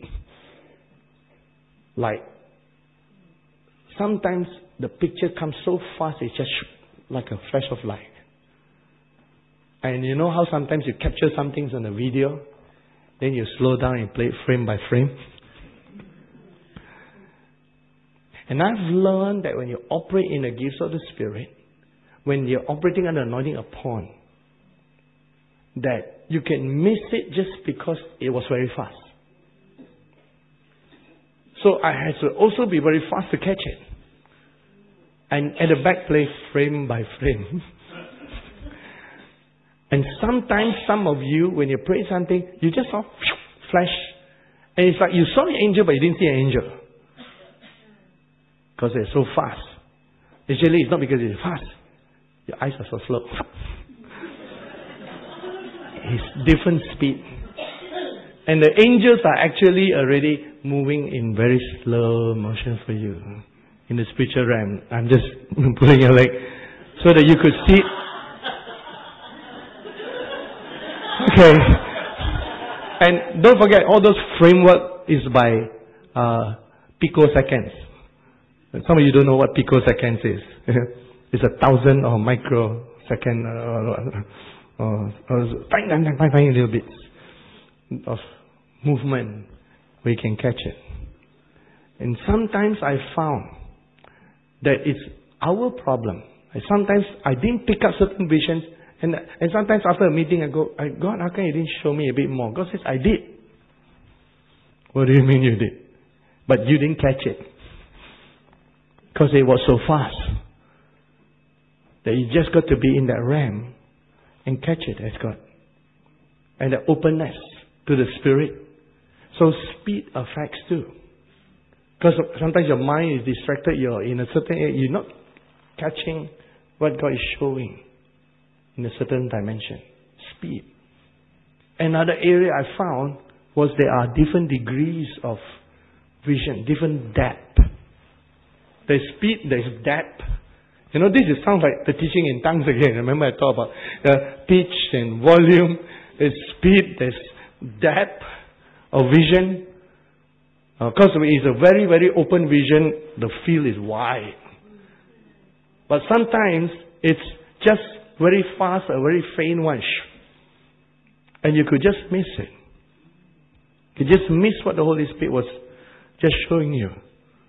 So in each one of those gifts of the Spirit, you could be missing it. And, and I, tonight is a special because I believe God is quickening things in your life. So, a few more things, one more point we'll touch on before I conclude.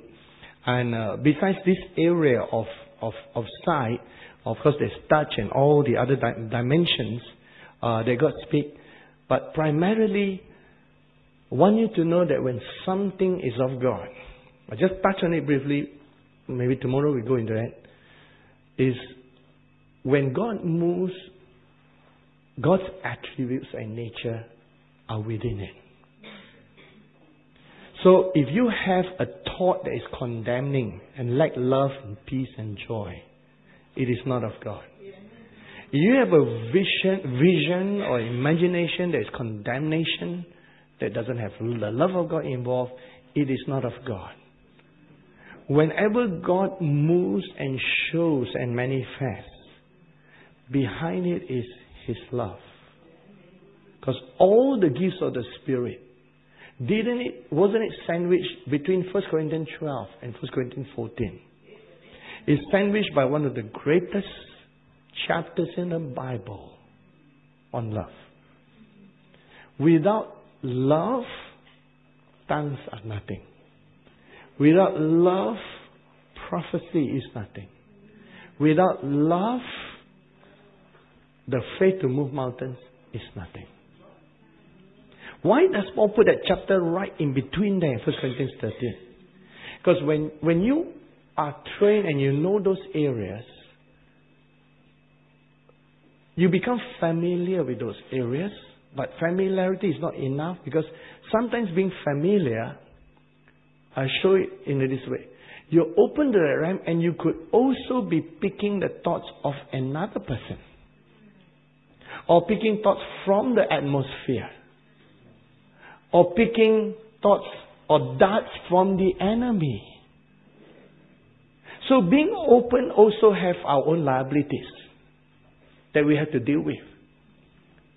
Because you're now opening in, into a, a dimension that you never did warfare before. Now that you open, and that is where I found that some men of God, as they began to learn to operate that way, you have prophetic conferences where people teach you to prophesy. Correct?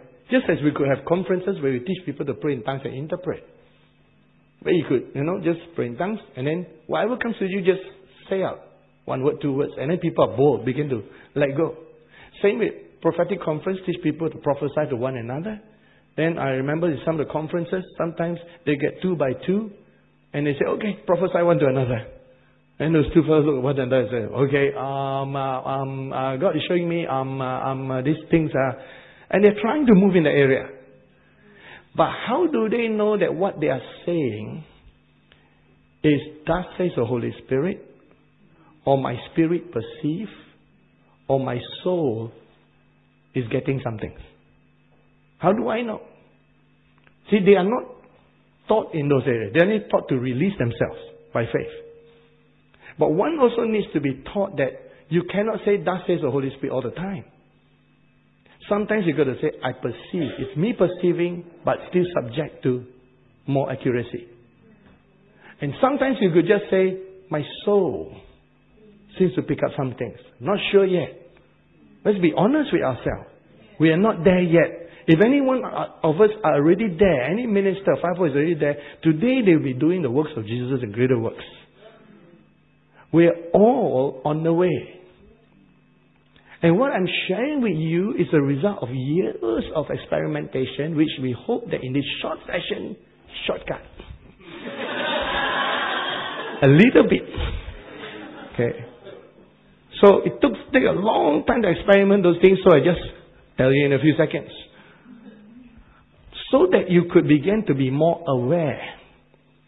And the, of course, bonus counts. Those who are a bit holding back, holding back, they tend to lose out.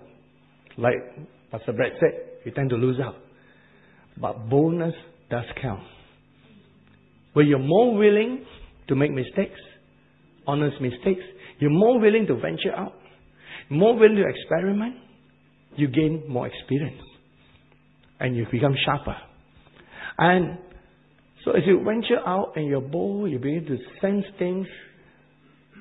We have to make ourselves purer to understand there is a difference between a real word from the Lord, a real vision from the Lord, even though it may not be great in depth or great, uh, uh, slow enough in speed to see in all full colors, but you could differentiate what comes from the Holy Spirit, what comes from your human spirit, and what is just a perception of your sensitized soul. It's important. Because it is possible. Once you're in that area, it's, it's so easy to sense. I have, uh, there is some disadvantage in the sense that if I were to hold anyone's piece of uh, clothing or anything from them, and uh, uh the, uh, whether I am in prayer or I sleep on it, all of the person's soul life is unveiled.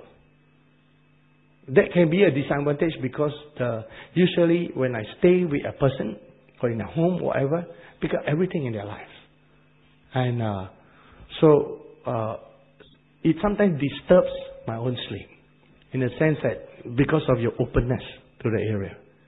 But then you learn how to close the doors so it doesn't disturb you.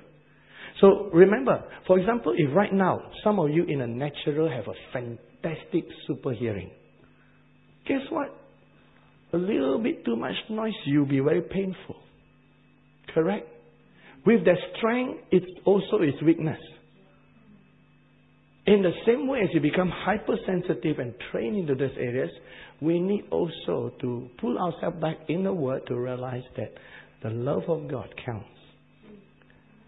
Always the atmosphere of love must be flowing forth.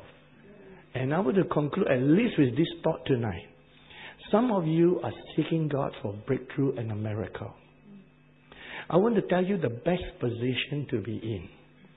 It's found in 2 Corinthians chapter 3, where it says that as we beheld him, we are transformed from glory to glory. The word beheld him uh, and the transformation of glory to glory, where we see him as in a mirror, is a Greek word katoptrinomai, which is a very uh, yielded area where you are positioned where God can just flow. And this is where it is. If you need a miracle, sign wonder, I remind you again, it's as easy to receive a miracle right now, tonight, at any time in your life, in any area, whether it be financial or it be natural or miracle or soul area transformation. The main key is that Second Corinthians verse where you position yourself to behold Him. Now, what is that position like? This is what it is like. When you are concentrating on yourselves and your need, you're not beholding Him.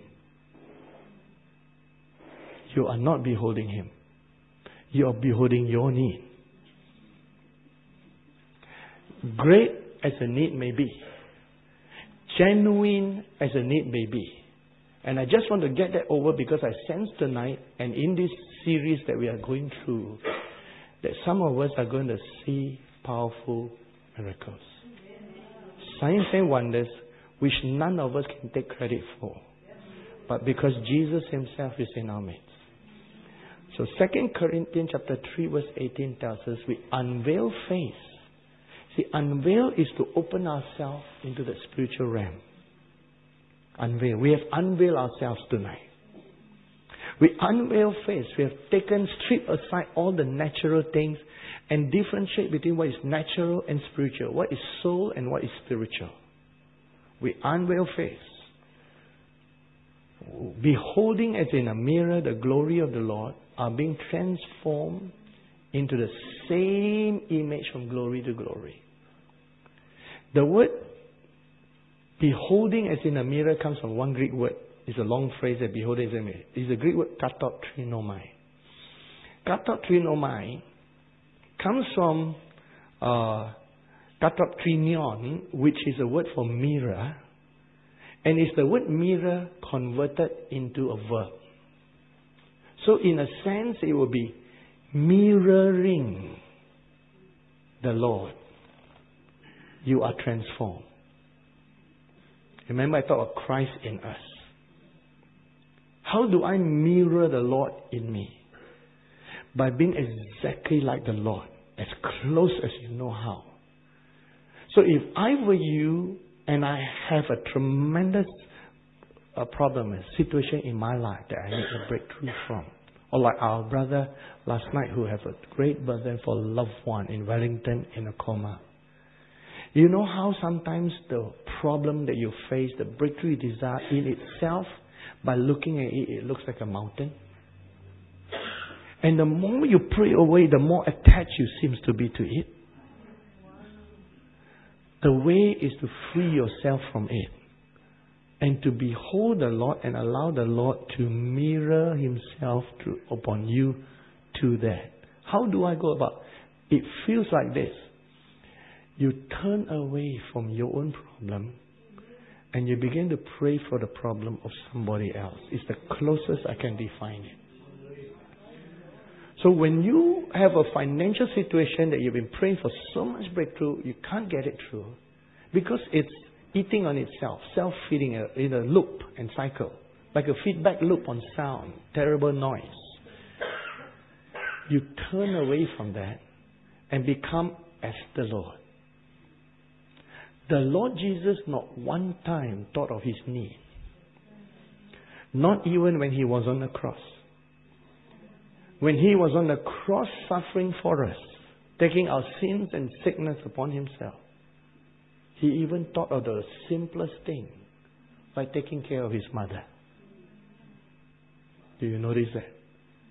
When the whole fate of the universe hangs on him, he looks at John and says, Behold thy mother. Looks at mother and tells, Behold thy son. Took care takes care of others. The marvel of Jesus' life is that he teaches a principle. If you give your life to others, you will never lose your life. For he that seeketh his own life will lose it. But he that loses his life for the life of another, you will find it.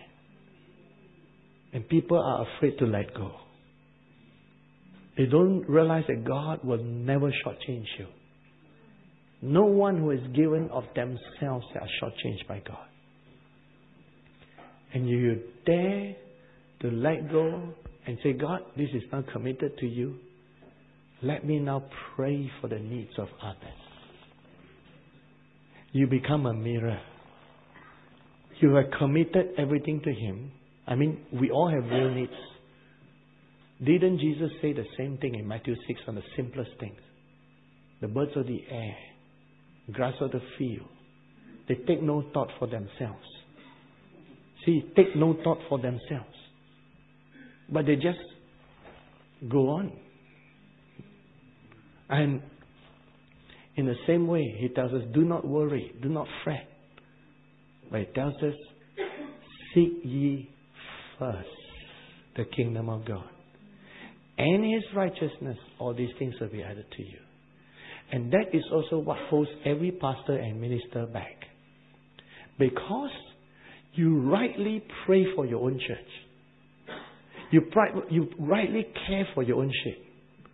But the day you stop being selfish and you care for your sheep, care for your church, by all means be responsible. But you also care for the body of Christ at large. You're not insecure, not afraid.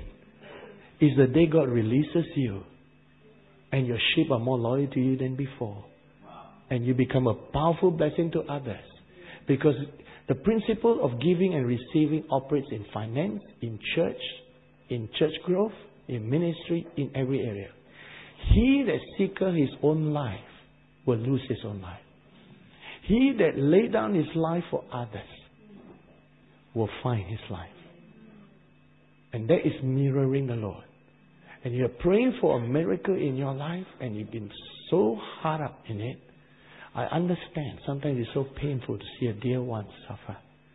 But you need to step back and let God come in. Because you could be the one, like Pastor Brett said, blocking God.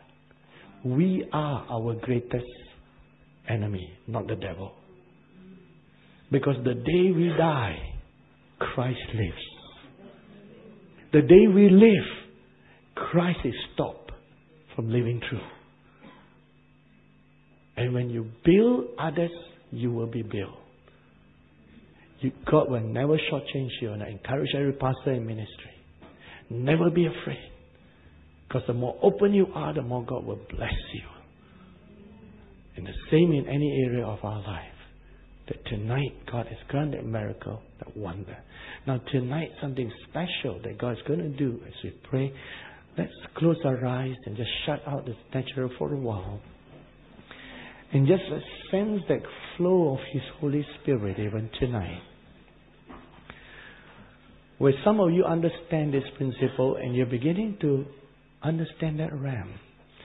And it takes everything and whatever. Remember, every thought has a cause. Every feeling has a cause. Every sense has a cause. Some of it natural, some of it soul, some of it spiritual. But some of it comes from the very throne of God. And just a whisper from heaven can be an earthquake that sets captives free on earth. If we could hear that, channel it, and release it even into the physical realm. Because the spiritual world is crying for a voice. The Holy Spirit is crying for a natural voice to give heed to that which He whispers in our heart, that which shows in our heart. Father, tonight, as we wait upon you and your Spirit, we know there are wondrous miracles, wondrous breakthroughs that are available for ministries here, wondrous things that you're doing. Not only healing physical bodies, which I already sense different healings, but also in breakthroughs in different areas of our life. We thank you, Father God, that even as we unto the realm of your Spirit. We ask for your Holy Spirit, Lord, to flow through in our midst, to reveal, to impart. Cause us, Lord, to know what your Spirit is saying to the churches. Cause us to sense what your Spirit is doing in our midst. We thank you, Father. We thank you, Father. We praise you. Now, there are different things we would like to minister, but we would want to encourage, I want to step aside and allow the body of Christ to function in the gifts that the Holy Spirit gives in our midst. And whatever is functioning and giving into your lives, I'd like you to be obedient. If you're sensing something in your heart and life, I want you to raise your hands up so that I can find you and allow you a chance to function in that gift. And we all function and flow with you. You sense something, you seen something in the spirit, or you think you did. You heard something. I want you to raise your hands high so that I can come to you. Yes. Just be reverent in the presence of the Lord. Thank you.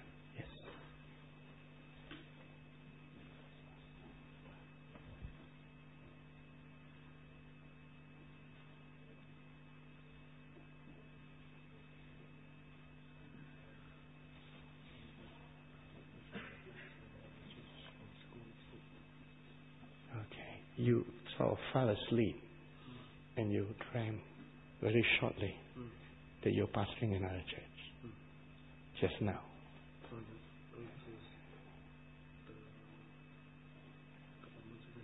Couple months ago. Okay. So you had that that you remember that again.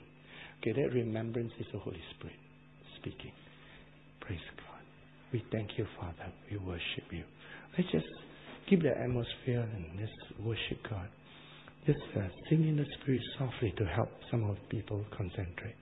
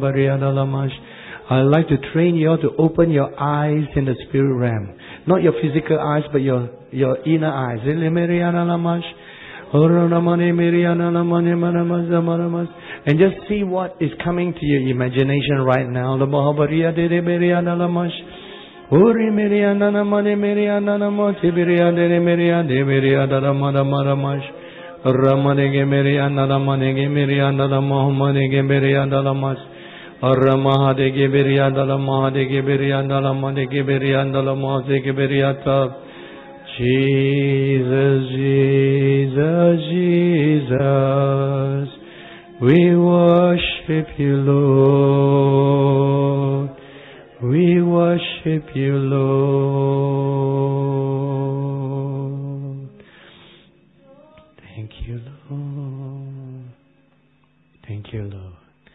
Now, we quietly just open your eyes for a moment, very briefly, because this is still part of the training session. And uh, very quickly, if anyone of you just saw a glimpse or anything, just uh, just uh, raise your hands. I, I, I give you opportunity to share very quickly because this, I, we have done this before, and you find one thing: even though we are all different, we seem to be seeing the same things. Okay. Yes. It was like the light was getting brighter, and then I just saw like angels. They were sort of gathering. They was kind of separating, and then I could see Jesus. But I didn't just saw a form, but he was sort of the center coming in the middle of where the angels were Okay. gathering. Yes.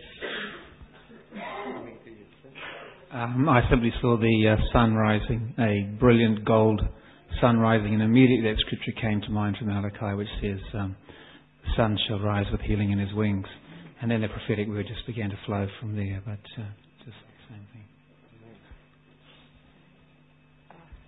Um, I just saw um, some bubbles, like they were like sound rings while you were talking, and they um, saw the map, saw the map of New Zealand, and it just went across it. Yeah. Um, I saw like uh, the Lord standing there and had his hands out like that, and flowing out from him was just like a radiation of his light, and that. And the thought was that he's always imparting. Praise God. Anyone else? Yes. Yeah, I saw two things. Um, the first I'd seen before, and I couldn't recall where I've seen it. Um, uh, and it was a mountain, and it had a waterfall. Um, the water was it was like a rushing waterfall, but the water at the bottom was still, which was odd. Um, so that came back in my memory. Um, and then the second one was Jesus on the cross. Um, I saw Jesus laying hands on somebody in this church. She's wearing pink cardigan or something. The woman. Okay, that's good. Okay. So after we pray for those with pink cardigans. yes. Uh, I just saw a washing line with all these uh, linen garments that were washed completely white, you know, very radiant garments. I saw an altar and it was uh, surrounded by light. Now that's quite a similar vision. I saw something still. Right. Any, anybody else? Yes. Initially, I saw these black birds, and I asked the Lord what they were like demonic spirits. And then up came the sun, and it was brilliant and shining. And immediately those demonic spirits disappeared. And from the sun came out the Lord Jesus riding on a horse. And the Lord reminded me that this indeed is the nation where the sun first rises. Amen. Now notice there were two visions similar, seeing the sun, and some with Jesus. Yes.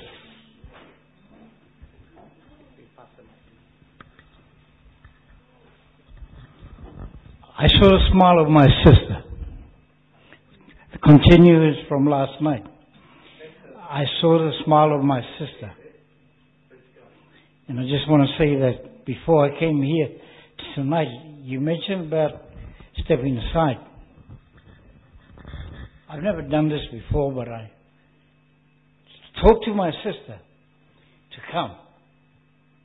Come out because of the Christ that's in her.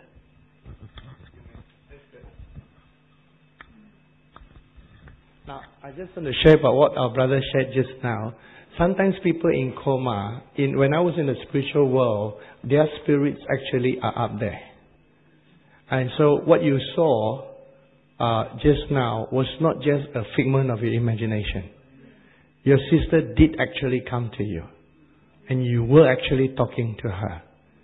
Just wanted you to know that. Uh, since, since 206, after the Lord brought me the spiritual realm, all I had to do is close my eyes and the spiritual realm just opened up.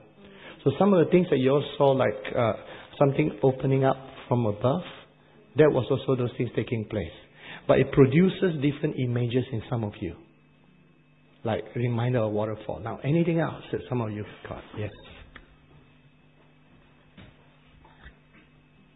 Uh, just sort of like a wave, just a wave of glory. Now, the wave is a message Sister got on waterfall. Water flowing. Yes. I, I saw it was like a rock coming towards me, but I knew it was the sun. I also saw a flower as well. Flare. Okay. Three people saw sun. Right. And anyone else? Yes. I just saw a quick glimpse of the sky with the yellow, you know, yellow shooting over, orange. Quite a number of uh, us, quite a number of us in your imagination, you saw these flashes of light coming. Okay? That actually took place in the spiritual.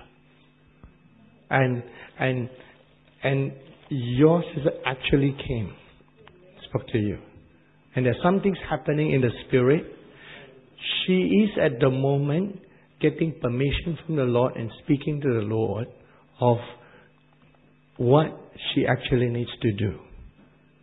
So continue to continue to bring forth the love of the Lord in the area, and uh, if she accepts her mission, she will awake. So watch and see she's in communion with the Lord.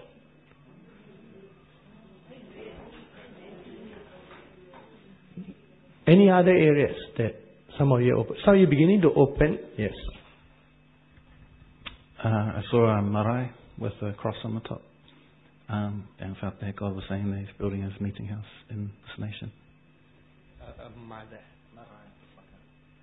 Maori meeting uh, a Ma- Maori meeting house. Oh, sorry, I didn't know what that was.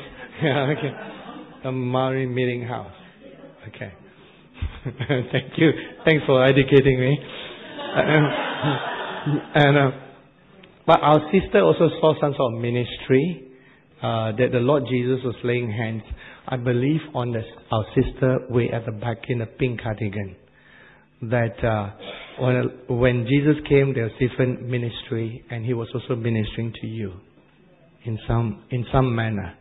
There are some things in your heart that you're speaking unto the Lord especially in regard to the area of your children, that the Lord is ministering to you and speaking into your life. And He's bringing a word to the Lord. How I know that is when she, when she says that, and I, I knew, I mean, there are not many pink cardigans. In fact, you're the only one. And uh, so, when the direction went to you, I sense other things flowing. Other things I know is not from me. I know Jesus was ministering to you, Jesus was ministering to your children, and I also know that you have prayed to the Lord for your children, and you're waiting for an answer from the Lord. And the Lord has come to you tonight and says that He has heard your prayer, He's heard your cry, not to worry, they will come into His walk. They will come into His walk. He will see to it. He heard your cry tonight. So, see, from one word, it leads to another word, to another word. Remember how it's line upon line, precept upon precept? Remember, although it looks slightly more complicated, it's as simple as tongues and interpretation. When you have tongues and interpret, you have only one word. Then as you speak one word, the next comes, and the next comes, and the next comes. And you find that although you are in control, yet something else is controlling you the Holy Spirit. And the same with ministry, the same with every area. And uh, some, and uh, we're going to do. Uh, uh, so tonight, as you're beginning to open yourself, don't forget that the spiritual realm continues even when this meeting is over. And there is just something that just awakened in your life. I want you to know, ministers of God, that if you open yourself, at the end of this series, you will be operating in the gifts of the Spirit in a way you have never had before. I know Jesus has want to come to you to awaken that in your life. So that that which you have longed to function in will function more accurately than ever before. But as we close tonight, I would like to invite the pastors who are here to come to the front here. Praise God. Would you come right to the front? And I'd like you to um, Thank you, Jesus.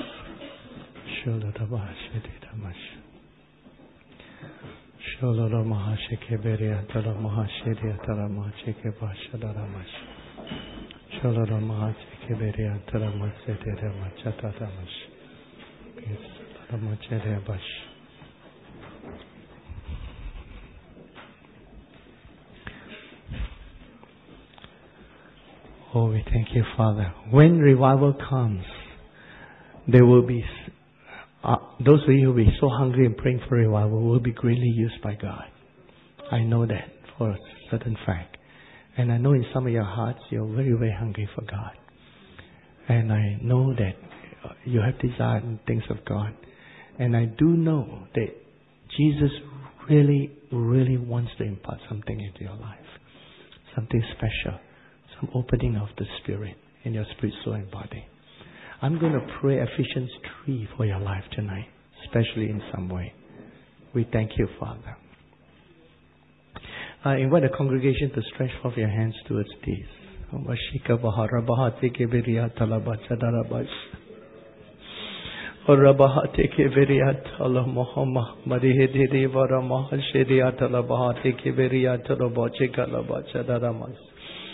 تو بہاتے کے بری آن تو بہاتے کے بیریاں بہاتے کے لو بہاتے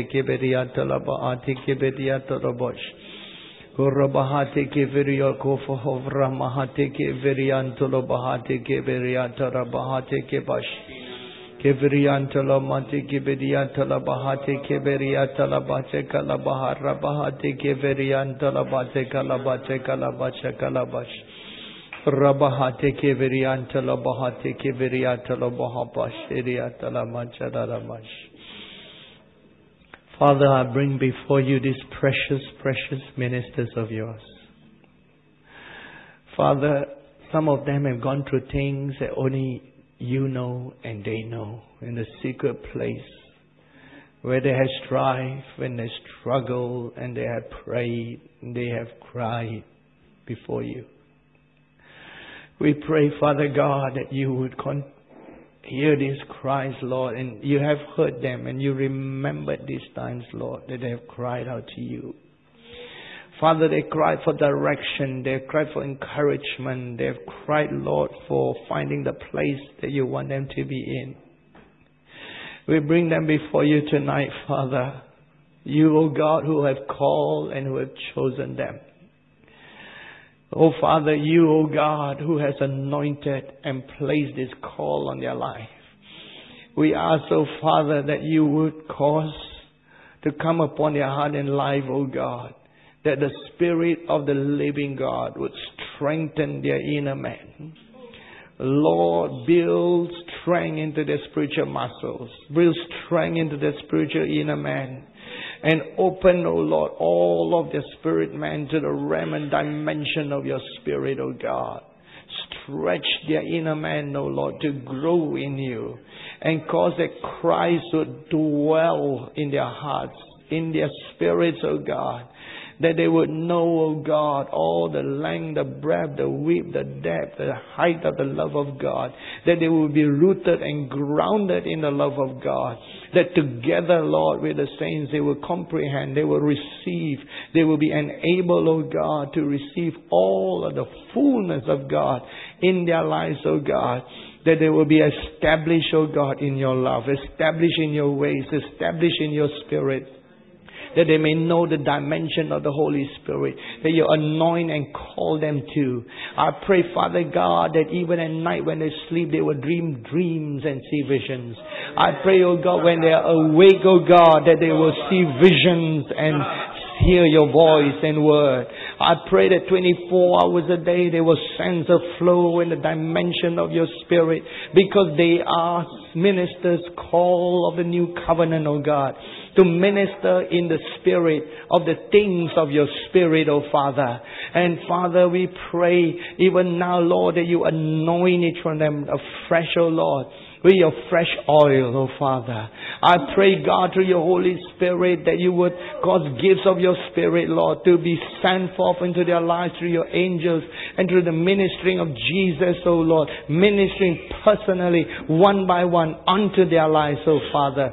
We praise you. We thank you, Father. Let a quickening, an awakening, a sensing, a dimension of the Spirit be imparted into their lives, O Lord. That which you predestined in their life, way before they were born, way before they know you.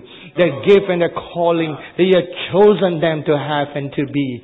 Establish it in their lives, O God. Make it tangible to them, O God. And all their loved one, O Lord. We thank you, Father God. We praise you, Father God. In Jesus' name. Jesus' name. Thank you, Jesus. Oh, thank you, Jesus. And now we want the pastors here and the minister to anyone who want to come and be prayed for before the end of tonight. We invite you to turn around and face the congregation. And uh, those of you who need to go, do feel free to go. Those of you who feel that you need to seal that which God is doing in your life through the laying on our hands of these ministers of God. And uh, as we uh, just uh, pray and worship the Lord, uh, do feel free to come forth. some of you have different needs. I know that there's at least uh, three, three, three men here, and two in the middle section, the back, and one about the third, fourth row from the front, who are praying for for financial breakthrough and different different things, uh, different needs that you have. That as you come forward, tonight you're going to come differently. You're going to come really laying your needs at the throne of God, and you cut up tree no mai. You, you, you look away from your need and begin to think about the needs of others or similar in your situation and channel all your energy towards them, knowing that in blessing them, you are blessed. Even as this pray for you. And if you need a, need a miracle, a healing in your life, tonight is your night. Tonight there is an anointing of the working of miracles. And you release your faith tonight. Receive it tonight. So let's come reverently and allow any one of these to minister, lay hands on you to pray. And as they pray, some of them here may operate in some of those things. And pastors, I encourage you. Whatever God gives to you, Speak the word, whatever. Be bold. In this atmosphere, it's all right to move into that dimension. Thank you, Jesus. Let's all rise together. And those who need to, those who need to go, feel free to go. Those who want to minister, come right now, one at a time, to these who are in the front here. We thank you, Father. Holy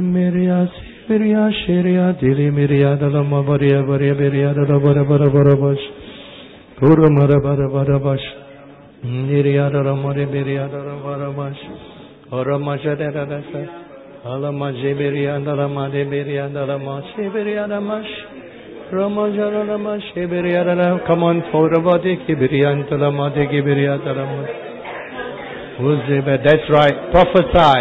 Speak. Operate the gifts of the Spirit. Oh, be bold, be bold, step out. Olamahari Beria Tiria Talabadi Kiberia Talabash. Uramade Geberia Tereberian Tiria Tiria Dalama Shiria Dalabas Oh Jesus, we worship you, Lord. Barabahate kiberiata lamash. Oramadenge mariata ramadenge beriata labate kiberiata labas. Oramadenge beriata riata riata riata labas. Riata labas, shara labas. Oramade meriata riata riata labate kiberiata labate kalabate kiberiata labas. Oramadenge meriata beriata riata labate kiberiata lamate kiberiata labas. Rabade keberiya talabaş şaralamaş. Lama rabade keberiya talabaş. Deriya talabahate keberiya tarabate keberiya talabaş. Karamade keberiya nalamade keberiya talabasi keberiya tabaş. Ramade keberiya talamate keberiya talamate keberiya talamaş. Ramade keberiya talabate keberiya talabate keberiya taramode kebaş. Holo, we worship you, Lord Almighty. Giberia Talamate Calabache Calabash. Holo, Remate Giberia Tiriana Namahate Giberia Talabate Giberia Talabash. Naramate Giberia Talamate Giberia Talamas. Shalamate Giberia Talamahashera Mate Gemachala. Tarabate Giberia Nanamate Giberica Bachada Labash. Kuramate kalabate keberia taramate kalabash. Kuramate keberia talamate kalamate keberia talamas. Kuramate keberia talamate kalabate kalabate kalabas. Kuramate keberia daramate keberia daramate keberia talamas. Lord, we minister to this soul, so Lord, Amash. Oh, flow forth in the spirit, Lola Mahababaria talabash. رما دے کے رما دے کے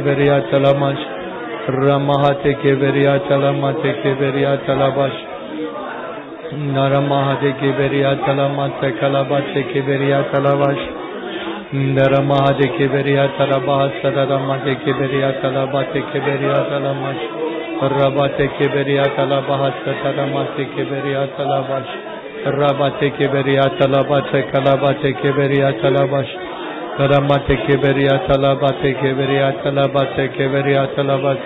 Rabate keberiya talabate keberiya talabate kebaş. Rabate keberiya talabate keberiya talabat sadarabaş. Naramate keberiya talabate kalabate keberiya talabate kalabaş. Rabate keberiya talabate kalabate kalabate keberiya talabate kebaş.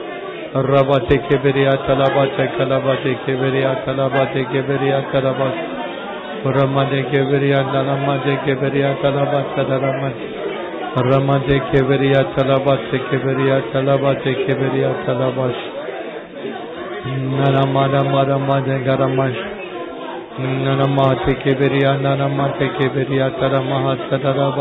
بریا بریا Alamada kalabate kebere alabate kalabate kalabaş şaralabaş.